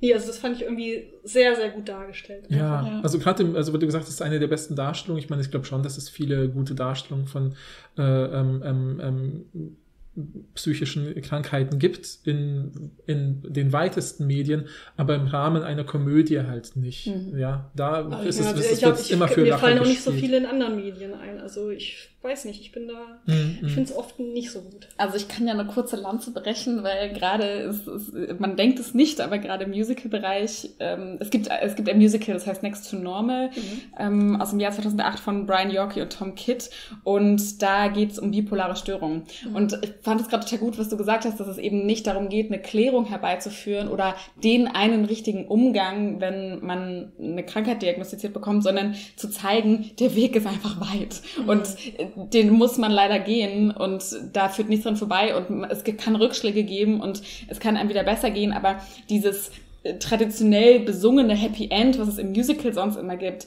das wird eben, ähm, also bei Next to Normal zum ersten Mal so radikal in Frage gestellt und Rebecca Bunch dreht es, äh, dreht es natürlich nochmal weiter und ähm, Genau, also nicht, nicht umsonst hat ja Rachel Bloom für diesen Song Antidepressants are so not a big deal ja. 2019 den Emmy Award gewonnen. Also das, das finde ich, sagt, glaube ich, auch schon mal ziemlich viel aus. Tolles Lied auch.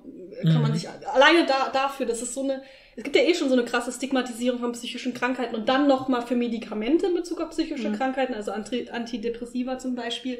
Und dass die einfach einen ganzen Song machen, wo die all die Klischees, die Leute sich wahrscheinlich anhören müssen. Ich habe keine persönliche Erfahrung, aber ich mhm. gehe davon aus, das muss man sich immer noch anhören, wenn man diese Medikamente nimmt alle aufzugreifen, umzudrehen, zu zeigen, nein, das ist nicht so, es ist total normal, finde ich so gut und so wichtig ja. und ich meine, all diese Themen, die wir angesprochen haben, so in einer Serie finde ich halt Repräsentation von Sexualitäten, Geschlechtsidentitäten, ähm, verschiedenen äh, Kulturen, psychischen Krankheiten auf so eine super reflektierte Art und Weise mhm. finde ich so besonders an dieser Serie. Und dabei noch witzig und mitreißend ja. und auch wirklich smart. Mhm. mhm. Genau. Ihr wolltet ihr noch über die Musik reden, oder? Ja, ja, ich glaube, es ist auch eine gute Überleitung, weil du jetzt mit dem Song kamst und mit den Stereotypen, die da gemacht werden, weil ich finde halt, dass das Coole ist ja, ähm, also weil das Thema Stereotyp so wichtig ist, sowohl für manchmal für Musik, ja, weil, weil, weil man ja sofort bei jedem Song können wir ja sagen, so ja, das ist dann so RB und das ist dann eher so ein Musical-artige Nummer und das ist das oder das ist Punkmusik oder so. Aber manchmal ist es schon so, so spezifisch, dass es, das ist ein typischer Katy Perry-Song. Oder, ja, so. ja, oder das ist der eine Song aus Les Miserables. Ja, ja, ja, ja stimmt, genau. Und ne, das, das ist halt total cool, finde ich, weil dieses, also Komödie oder so lebt ja total von, von Stereotypen, die man wiedererkennt, damit man lachen kann. So, ne? Ist ja auch äh, sozusagen ist ja eins der Beispiele, wo man ja auch sagen kann, äh, Wiederholung ist ja etwas, was, also ich finde es nicht immer lustig oder so, aber es gibt Leute, die, keine Ahnung, immer an Silvester, äh, wie heißt's, äh, Dinner, Dinner for One gucken und jedes Mal mehr lachen, wenn die Person wieder stolpert und so. Und ist ja auch nicht schlimm. Ich meine, das so, ne, deswegen, man lacht ja auch immer, wenn Joey bei Friends wieder äh, irgendwas Doofes sagt oder so, weil er halt der Doofe ist oder sowas. Ne? Und mhm. ähm, das, das ist nicht schlimm, sozusagen. Es gibt verschiedene Arten von Humor und so. Aber das Interessante ist ja, finde ich, hier ist diese, diese, das sieht man halt, finde ich, auch an, an der, dieser Reflektiertheit dieser Serie, merkt man halt daran, dass diese Stereotypen halt oft eben benutzt werden, eigentlich um, äh, um andere Stereotype zu dekonstruieren. Also um zu zeigen, so, indem ich hier eine bestimmte Musical-Nummer an, andeute oder äh, einen bestimmten Song, ein bestimmtes Genre äh, andeute, äh, aber dann genau das Gegenteil von dem, was typischerweise in diesen Songs vorkommt, thematisiere. Ja? Äh, das ist ja schon total toll. Und mhm. gleichzeitig werden damit ja die Charaktere weiterentwickelt. Das ist ja auch eine dieser Sachen, die ich mal irgendwie gelernt habe im Studium, ist natürlich, dass bei Komödien eigentlich die witzigen Momente den Plot aufhalten. Also, dass man so, so wenn jemand stolpert oder wenn jemand einen Witz erzählt oder ein Wort nicht richtig versteht und alle lachen, kann sich ja die Geschichte nicht weiterentwickeln. Aber hier entwickelt sich ja die Geschichte dadurch weiter, weil wir erstens sozusagen eine Charakterentwicklung haben, weil eine Person vielleicht eine emotionale Botschaft einer anderen Person mitteilt, weil man diese Reaktion merkt, weil man, weil man dem Ganzen auch einen Namen gibt und so.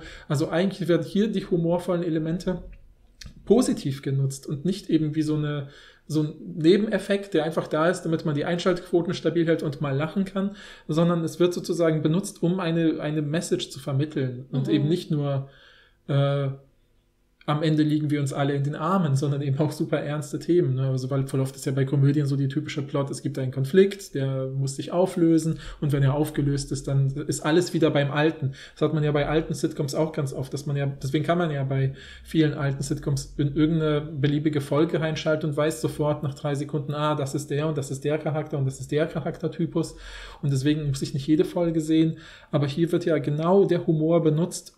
Eigentlich sind das sozusagen immer, wenn, wenn hier angefangen angefangen wird zu singen, wenn hier angefangen wird, witzig zu sein oder so, dann passieren die wichtigsten Entwicklungen mhm. und sie passieren eben sehr prägnant, weil die Songs einfach toll gemacht sind, weil die Videos hochwertig produziert sind, weil man da ganz viele Sachen wiedererkennt und äh, die Sachen, die im Rahmen dieses Wiedererkennens werden viele genug Dinge gebrochen, dass man, dass es nicht nur eine stumpfsinnige Wiederholung ist, die, die einfach nur deshalb toll ist, weil man was wiedererkennen kann. Ne? Also das finde ich irgendwie total schön an all diesen Musikauftritten. Mhm. Ja, wollte ich nur kurz sagen. Ja, krass, da habe ich noch nie drüber nachgedacht, dass, äh, dass der Humor zur Weiterentwicklung beiträgt bei Crazy Ex-Girlfriend. Ja, finde ich spannend. Ja, mhm. ich auch nicht, aber es ist echt eine gute Analyse. Ja, glaube ich auch.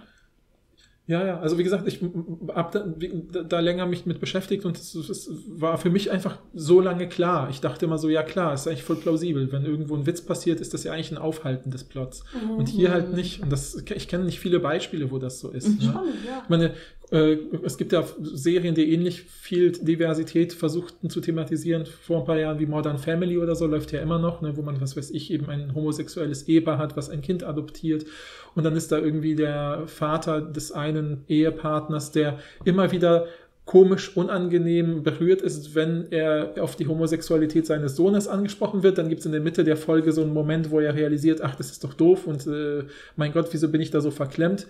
Aber dann wird es zwei Folgen später wieder für einen Gag benutzt. Ja, das heißt, ja. da gibt es keine echte Charakterentwicklung. Die, es gibt so Mini-Charakterentwicklungen, die dann so kurz passieren und dann fällt es aber wieder zurück in den Stereotyp, ja, wo man, ja. also das finde ich dann immer schade, aber es muss natürlich, dass wieder dieses Genre der sich wiederholenden Sitcom lebt halt eben mm. davon. Und hier wird das Genre der sich wiederholenden Sitcom halt äh, ironisch gebrochen und ab der, spätestens ab der dritten Staffel auch völlig liegen gelassen. Ja, halt, ne? ja voll. Also am Anfang muss man sagen, dass Re Rebecca Bunch doch ziemlich lange braucht, um sich von be bestimmten Verhaltensmustern zu lösen.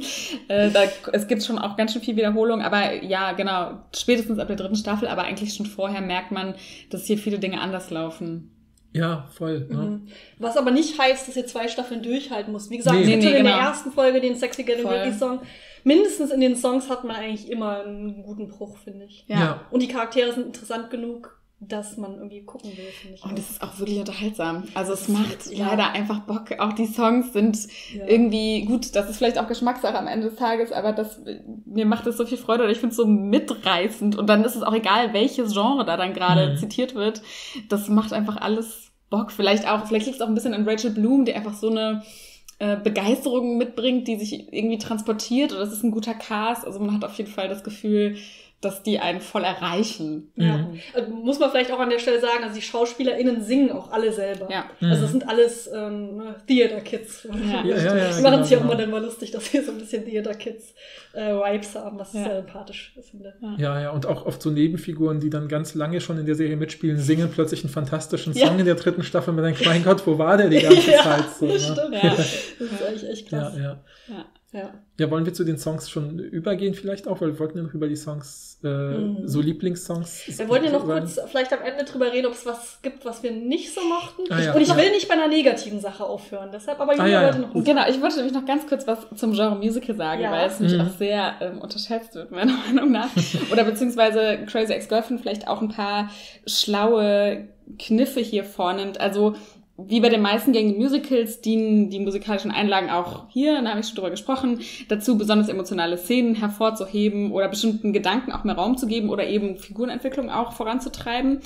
Und trotzdem unterscheidet sich Crazy Ex-Girlfriend auch in zwei formalen Aspekten total von anderen Musicals. Also erstens handelt es sich ja um eine Serie und nicht auf etwas, was in drei Stunden abgehandelt wird. Und zweitens eben, dass man sich nicht auf musikalische Genres festlegt. Und genau diese mhm. Genre-Anarchie führt eben auch dazu, also in gängigen Musicals, da ist man dann halt eingeklemmt in so einem ganz bestimmten, ja, das ist jetzt hier mhm. irgendwie Fred Astaire oder also es gibt einfach bestimmte mh, mm, Traditionen, in denen Musicals erzählt werden und wenn man da aber so eine Genre-Anarchie an den Tag legt, wie das Crazy Ex-Girlfriend macht, dann hat man natürlich viel mehr Freiheit und vor allen Dingen auch so widersprüchliche Facetten auch musikalisch und humoristisch auszudrücken. Also dann kann halt eine Figur in, einem, in einer einen Szene den ähm, R&B-Song singen und in der anderen den Folksong und keine Ahnung und beides hat aber Platz und kann gleichzeitig existieren. Und ähm, also dieses, was du auch vorhin gesagt hast, dass äh, bestimmte ähm, Gefühle, die so, die so für Musicals stehen oder die vielleicht auch für bestimmte Musikrichtungen stehen, dass die eben zwar wiederholt, aber nicht reproduziert werden, sondern eher so sarkastisch gebrochen, unterfragt oder auch ad absurdum geführt werden. Und es gibt sogar, ähm, also ich glaube, man denkt halt oft, Musicals sind immer so seicht und sind nie, also oder sind manchmal humorlos oder sind nie selbstreflexiv. Aber es gibt zum Beispiel schon bei Grease so eine ganz, ganz tolle Szene, wo Sandy, also eine der Hauptfiguren, ganz verliebt im Nacht Nachthemd mit Föhnwelle beim Mondschein draußen im Garten Hopelessly Devoted to You singt und so ganz traurig ihre Spiegelungen in einer Wasseroberfläche betrachtet. Und dann zoomt die Kamera aber raus und statt eines verwunschenen Teiches sieht man so ein billiges Planschbecken da stehen.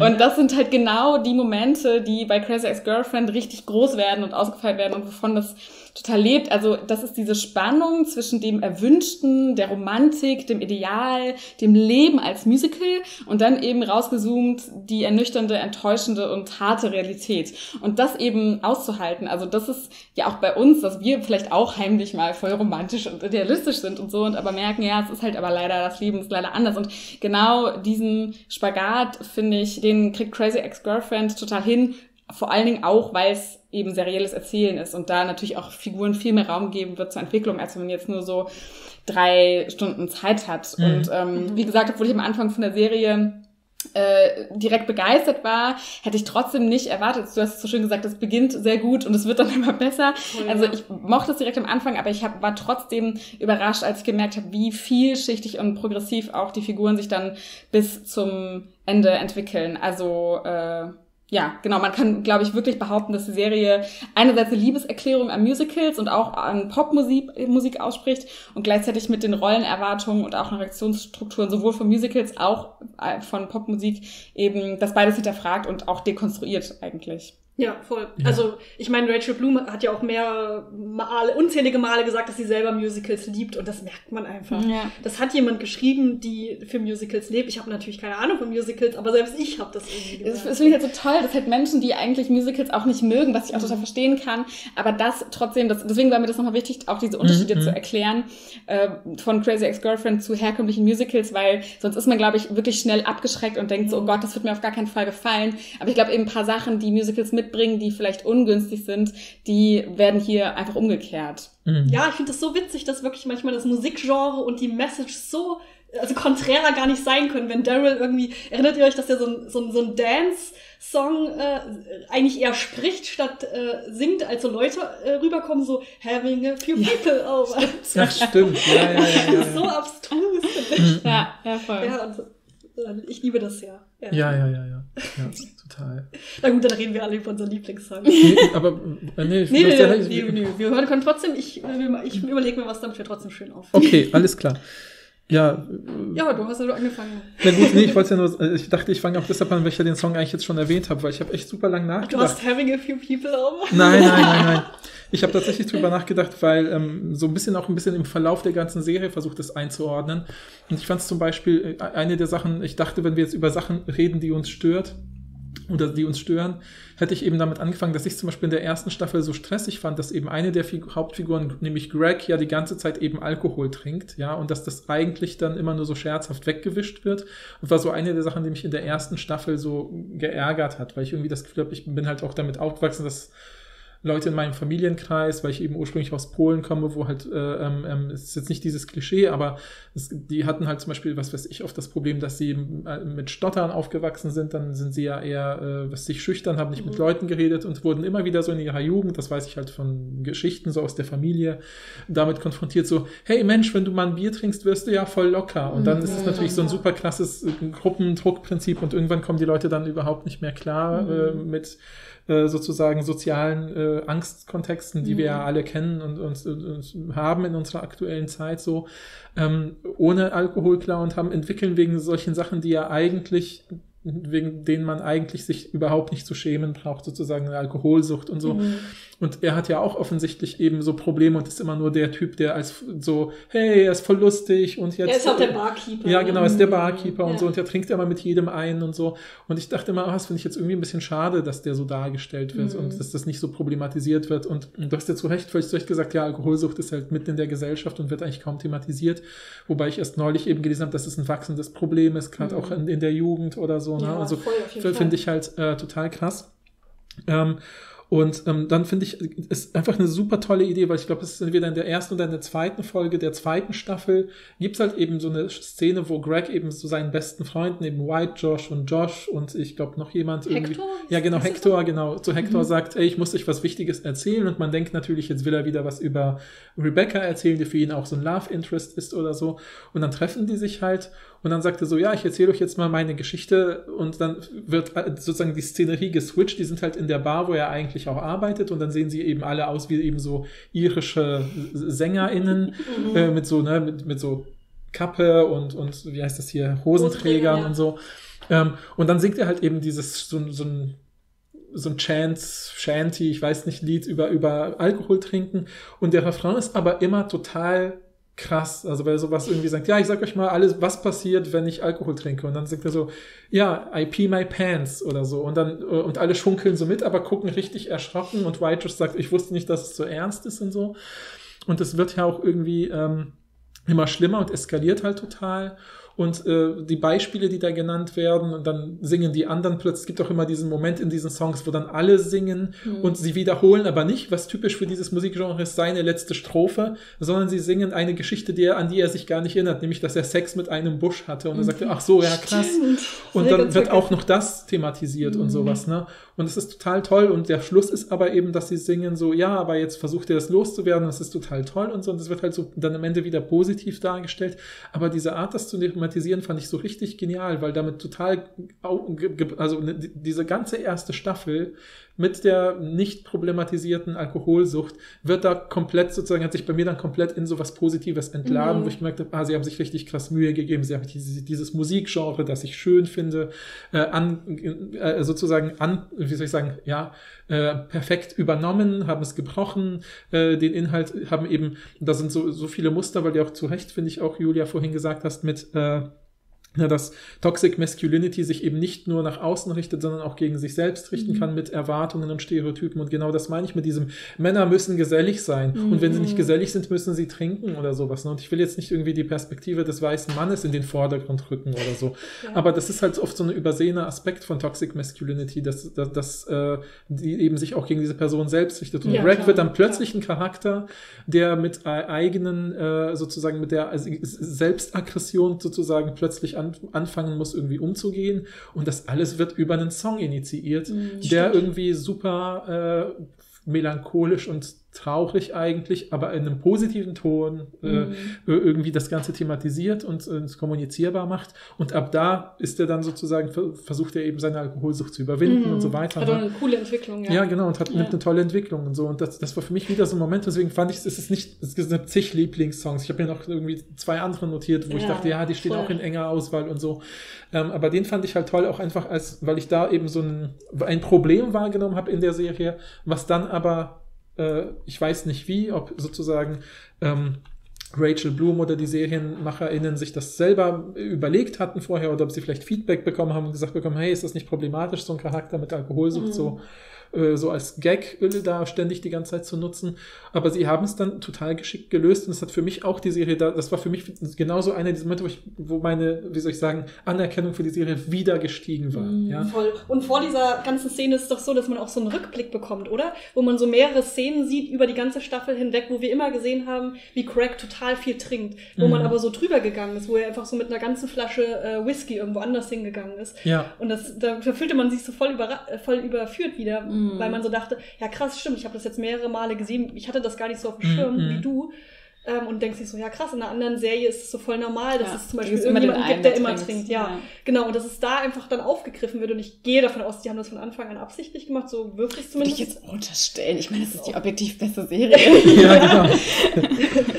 ja. Und ja, verstehe ich. Aber wir werden euch einfach mal jeden dieser Lieblingssongs verlinken. Dann könnt ihr ja, wenn ihr euch einen Eindruck machen wollt, nicht den Trailer gucken, weil der ist nicht ja gut, haben wir ja schon gehört, ja. sondern vielleicht guckt ihr einfach mal die Songs rein. Ja, stimmt. Das ist ja auch eine der, so, wenn, immer wenn Leute kommentieren, oh, wozu macht denn die CW diese schlechten Trailer, ist ja voll auf die Antwort, ja, man sollte einfach die Videos gucken. Mm. Oder die Intros. Das Intro reicht doch schon. Ja, so, ne? ja, ja es gibt ja auch zu jeder Staffel ja, ein anderes Intro. Geil, und jedes ist toll, ja, genau. Aber jetzt sagt mal ihr eure Songs, ich bin super gespannt. Ja, ich ähm, halte mich kurz, weil ich finde tatsächlich, habe ich auch schon erwähnt, ich finde äh, Diagnosis am besten. Mhm. mhm. Weil ich, ich finde das, also für mich kam das super empowering rüber, dass sie sich so krass gefreut hat, dass sie jetzt eine Diagnose bekommt. Manchmal hilft es ja total, so Labels zu haben, manchmal nicht. Manche Leute finden das irgendwie hilfreich, manche Leute gar nicht, aber ich hatte das Gefühl, es kam sehr authentisch rüber, dass sie plötzlich das Gefühl hat, krass, mein ganzes Leben lang wusste ich, es stimmt irgendwas nicht mit mir. Ich hatte super viele PsychologInnen, die mich falsch verstanden haben. Das kennen wahrscheinlich mhm. auch viele. Und dann habe ich jetzt aber die, diese Diagnose und habe jetzt die Hoffnung, dass es besser wird. Es fühlte sich sehr real an. Ich hatte, ich war sehr stolz auf Rebecca, bis sie dann natürlich die Diagnose gegoogelt hat und dachte so, ach, Rebecca. ja. Aber es ist halt sehr relatable und deshalb, ja. ich finde den, den, Song irgendwie, da wird auch, werden auch auf super viele so Vorurteile gegenüber psychischen Krankheiten hingewiesen. Ich finde das sehr gut. Mhm. Das ist meine Wahl. Also mein Lieblingssong, vor allen Dingen auch in Kombination mit dem Video dazu, ist Love Kernels. Ach, ja. das, ich, also das Video ist einfach wirklich nur genial, das muss man sich selber angucken und das ist einfach, dazu muss ich glaube ich gar nicht so viel sagen, aber was ich daran so toll finde, ist, dass es, glaube ich, der most relatable Song ist oder vielleicht auch am niederschwelligsten, was das Thema, was ich vorhin so, ich habe das so Toxic Femininity genannt und ich weiß auch, dass der Begriff Toxic Masculinity total umstritten ist und so. Und ich will mich da auch gar nicht zu weit aus dem Fenster lehnen, aber was ich hier so beobachte, es geht darum, dass Rebecca jede Aussage von Josh interpretiert. Und wenn, wenn die Aussage nur ist, wo ist mein Handy, ähm, als zwischen den Zeilen sagt er doch eigentlich, dass er mich liebt. Und ich, ich, ich, mir reichen ein paar von diesen Körnchen. Und ich bin wie ein Kaktus, der in der Wüste steht. Und ich brauche einmal im Monat einen Tropfen von dieser Aufmerksamkeit. Und dann kann ich schon überleben. Und das, ich finde es erstmal total witzig und äh, muss auch gestehen, nach mehrmaligem Hören dachte ich irgendwann, ach verdammt, ich hatte meine Phase, da war das wirklich gar nicht so weit weg davon. Und gleichzeitig ist es natürlich am Ende des Tages, schadet sie sich selber, weil sie eine toxische Beziehung selbst evoziert, indem sie nämlich immer in einer Abhängigkeit zu jemandem steht, der ihr aber gar nicht signalisiert, hey, ich will was von dir, sondern der einfach nett zu ihr ist und äh, ein bisschen mit ihr befreundet ist. Und das schadet dann ihr, aber schadet letztendlich dann in der Potenz, wenn man es auf die Spitze treibt, was der Crazy Ex-Girlfriend macht, auch in dem, dass sie dann denkt, sie ist berechtigt, ihn zu stalken. Sie hat wirklich auch einen Anspruch auf ihn. Und ich glaube, dieses Mini-Mini von, ja, ich, ich, mir reicht schon ein Tropfen, das kann ich aushalten, mehr brauche ich nicht, weil ich weiß ja, irgendwann wird er mich fragen, ob er mich heiratet. Also dieser Trope von, ich komme auch klar, wenn ich nur ganz wenig bekomme, das stimmt natürlich überhaupt nicht. Und das evoziert vielleicht auch erst diese Erwartung, irgendwann muss aber dann doch die große Liebeserklärung kommen. Und wenn die nicht kommt, dann äh, knallt's aber. Und das finde ich irgendwie, mag ich total. Und das ist auch interessant, weil eigentlich meine Liebe zu dem Song entstand erstmal über das Musikvideo, was einfach so unfassbar witzig ist und gut gemacht. Und also äh, ist es vielleicht auch, ich weiß nicht, ob so ähm, das Video selbst so ein guter Einstieg ist, weil ich glaube, das versteht man besser, wenn man die Serie schon ein bisschen kennt. Also ich glaube, zum Einstieg würde ich immer Sexy Getting Ready Song mhm. äh, mhm. ähm, sagen, aber Love Kernels ist einfach auf so vielen Ebenen wirklich mein absoluter Favorite. Ja, du hast voll recht. Und auch der Besen, der dann aussieht wie Daryl. Oh mein Gott. Der sieht ah. wirklich aus wie Daryl. Ja, das ja, ist das ja. Verrückteste, was ich je gesehen habe. Stimmt, ja, ja, ja. Und dieses Kaktuskostüm, das ja, ist so gut. ja. ja. Ja, wir werden diese ganzen Songs verlinken. Mir fallen vielen auch noch oh, wieder mehr ein, aber wir sollten, wir müssen aufhören. Wir müssen aufhören. Ja. so. Ja, wollen, okay. wollen wir trotzdem zum Abschluss, äh, gibt es irgendwas, was ihr immer noch nicht so gut findet an Crash. Also das mit dem mit dem Alkohol trinken, das hat sich ja geklärt, denke ich. Ja, ja, nee, nee, genau. Ja, ja. Es war also natürlich meine halt coole dramaturgische Idee, dass ich damit einsteige und das dann beim Song brechen kann. Ja, aber ähm, sehr sehr schlau. Eine Sache, die ich halt äh, online einmal gelesen habe, ist äh, es gibt ja äh, gerade am Anfang so eine krasse Fokussierung auf Rebecca's Gewicht. Also sie mhm. sagt ja selber von sich immer, dass sie zu, äh, zu dick ist und auch andere Charaktere sagen das über sie was halt ab, natürlich, wenn man das guckt, absurd ist, ne? weil die mhm. Schauspieler, also selbst wenn, wäre es auch absurd, darüber mhm. zu reden und nicht gut. Ja. Aber äh, zusätzlich dadurch, dass Rachel Bloom halt natürlich offensichtlich nicht so dick ist, mhm. könnte das vielleicht blöd rüberkommen, gerade wenn man die Serie nicht am, also nicht von Anfang bis Ende guckt, mhm. weil eigentlich wird ja klar, also so habe ich es verstanden, dass Rebecca halt selbst dieses Problem mit sich selbst hat, weil sie auch dieses Trauma hat, dass ihre Mutter so krass immer auf ihr Gewicht geachtet hat. Mhm. Ähm, und dass sie deshalb immer denkt, andere Leute würden über ihr Gewicht reden, was sie aber nicht tun, weil ja alles aus ihrer eigenen Perspektive ist. Mhm. Aber ich weiß halt nicht, ob man das immer versteht, weil mhm. die Leute, also sagen ja auch alle Männer zum Beispiel immer, sie hat ja alle möglichen, sie hat ja ganz viele äh, Männer, die so, mhm. mit denen sie irgendwas hat. Ähm, und, die, und da sagen viele von denen sagen halt auch so ein bisschen, dass sie zu aber dick ist und ähm, ich weiß nicht, ich, ja, ich, ich, ich kann mir vorstellen, es ist ein bisschen wie mit dem Alkoholismus, wenn man es nicht von Anfang bis Ende guckt, dann wird man vielleicht auch nicht diese Katharsis dann mhm. erleben. Mhm. Also ich glaube, das ist in der Serie wirklich so, dass sich die meisten Sachen einfach entwickeln und dass es ganz schwer ist, äh, wenn man die nicht im Kontext sieht. Mhm. Also das ist vielleicht insgesamt, das ja einfach so ein Ding, das würde ich jetzt gar nicht bewerten als mhm. gut oder schlecht, aber ähm, ja, das stimmt voll. Ja. Also das habe ich einfach einmal so gelesen. Ich dachte, mh, hm, ich habe es halt nie so wahrgenommen, wie gesagt, weil ich direkt dachte, ja gut, das, das ist halt, weil sie selber das denkt. Aber ich könnte mir schon vorstellen, wenn jemand Probleme mit dem eigenen Selbstbild hat und das guckt und sich denkt, ja krass, äh, was bin ich dann oder so, mhm. dass das schon irgendwie schwierig sein kann. Ja. Ich weiß halt nicht, ob es so krass offensichtlich gebrochen wird. Da kann ich mich irgendwie nicht mehr dran erinnern, so richtig, weil ich das auch gar nicht auf dem Schirm hatte irgendwie. Also es ist schon auffällig, dass sie, dass sie äh, auch es auch oft selber thematisiert und oft und es eben nicht gebrochen wird. Aber gegen Ende ist ja sozusagen diese Thematisierung von Selbstbild, du hast ja auch selber gesagt, dass es diese, diese Stelle gibt, wo sie mit Valencia darüber spricht. Nee, du hast es gesagt, ne? mhm. ne? Ähm, äh, dass sie das thematisiert. Das ist eben diese äh, Art der verschobenen Wahrnehmung der, des, der, des Selbst und der, des eigenen Körpers, das damit einhergeht und so gibt. Und ähm, also ich würde bei dieser Serie, das ist halt mein Hauptproblem, ist irgendwie ist halt ein Problem, was aber auch unlösbar ist. Aber es ist eben dieses Genre Komödie, wird ja hier total gut genutzt, um eben Charakterentwicklung zu machen. Aber Komödie verleitet halt ein, eine Mehrheit, glaube ich, uns, der, der Rezipierenden, der Medienrezipierenden heutzutage immer noch dazu, nur, nur so provisorisch in Dinge reinzuschauen. Und wenn man provisorisch in die Serie schaut, ja. hat man genau diese Fragmente, dass man denkt, okay, hier wird irgendwie Alkoholismus als Klischee benutzt, hier wird ähm, die Darstellung von, was weiß ich, äh, Geschlechtsidentitäten äh, mhm. problematisch dargestellt.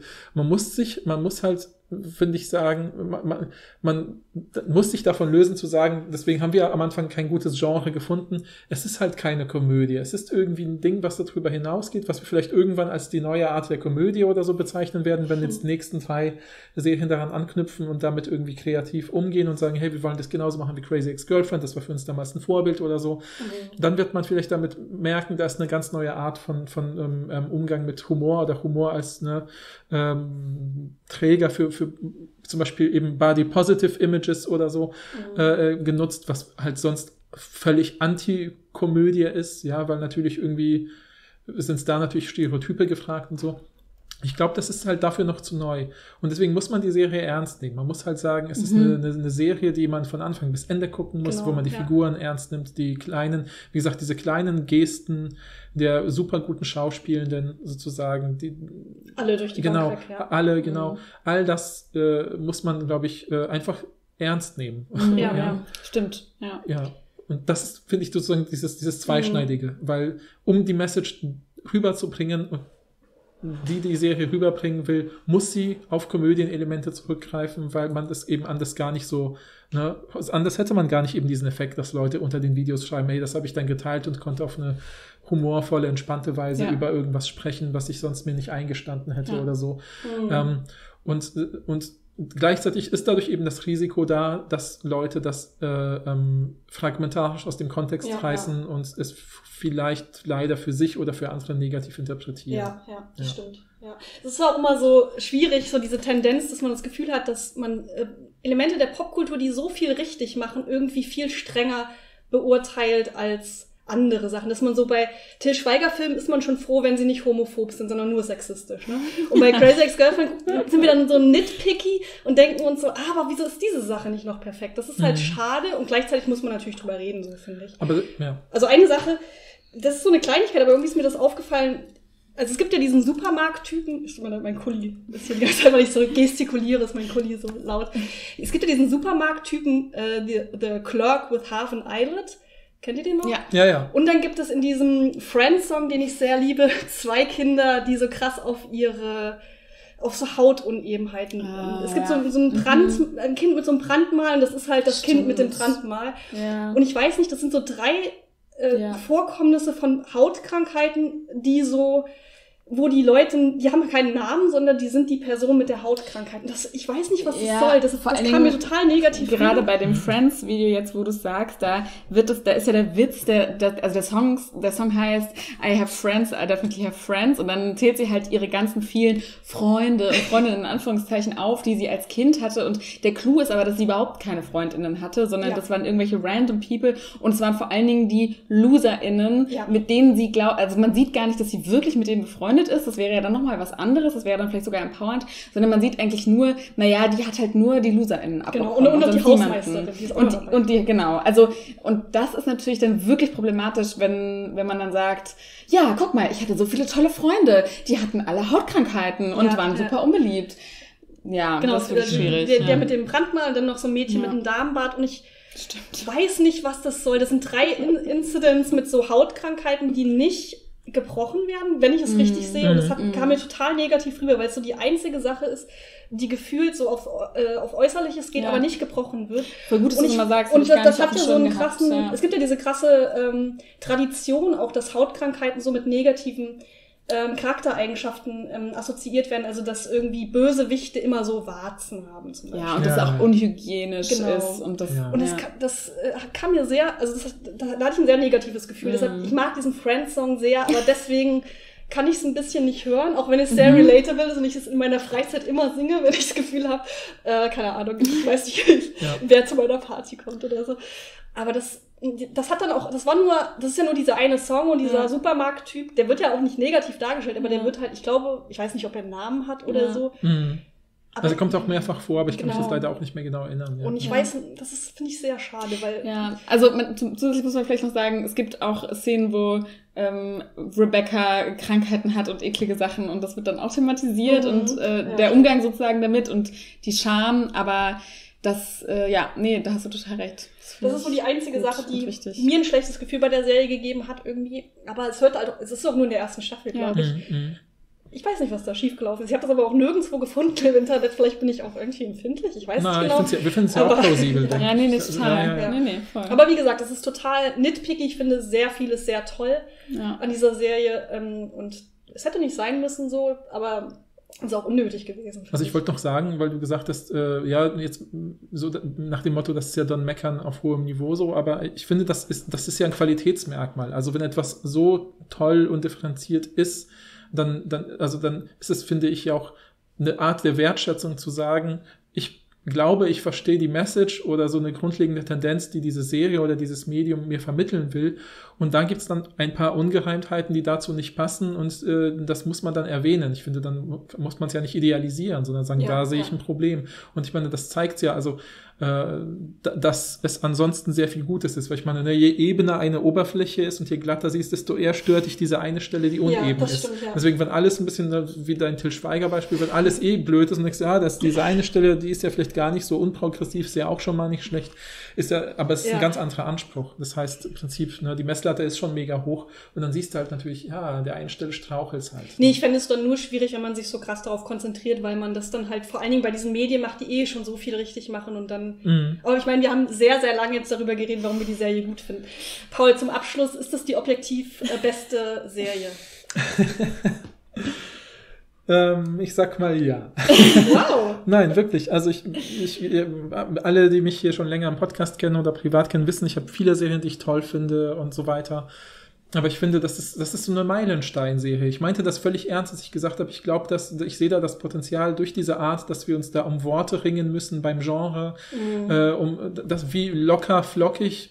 Und das meinte ich nicht, dass es wenig Arbeit ist. Aber man merkt, also immer wenn etwas lo locker, flockig, komplexe Themen verarbeitet, ohne dass man denkt, was soll denn das jetzt? Das ist doch völlig äh, daneben, äh, weiß ich, dass da ganz viel Arbeit dahinter steckt. Und das provoziert dann bei mir eben dieses Gefühl, ja, das wird etwas sein, worauf dann in drei bis fünf Jahren Leute zurückverweisen und sagen, ey, damit bin ich groß geworden, das hat mich mega geprägt, ich wollte das auch irgendwie äh, reproduzieren und so. Und das haben Leute auch gesagt, die Serien wie Better Call Saul produzieren fanden oder so, fanden Sopranos cool, als sie groß geworden sind. Und ich wette, also ich kann mir nicht vorstellen, dass das nicht eine Serie wird, die äh, prägend sein wird und wo wir irgendwie zum Glück in wenigen Jahren vielleicht sagen können, hey, guck mal, das ist ähnlich oder so, oder vergleichbar. Ja. Julia, ist das die objektiv beste Serie? Ja, doch.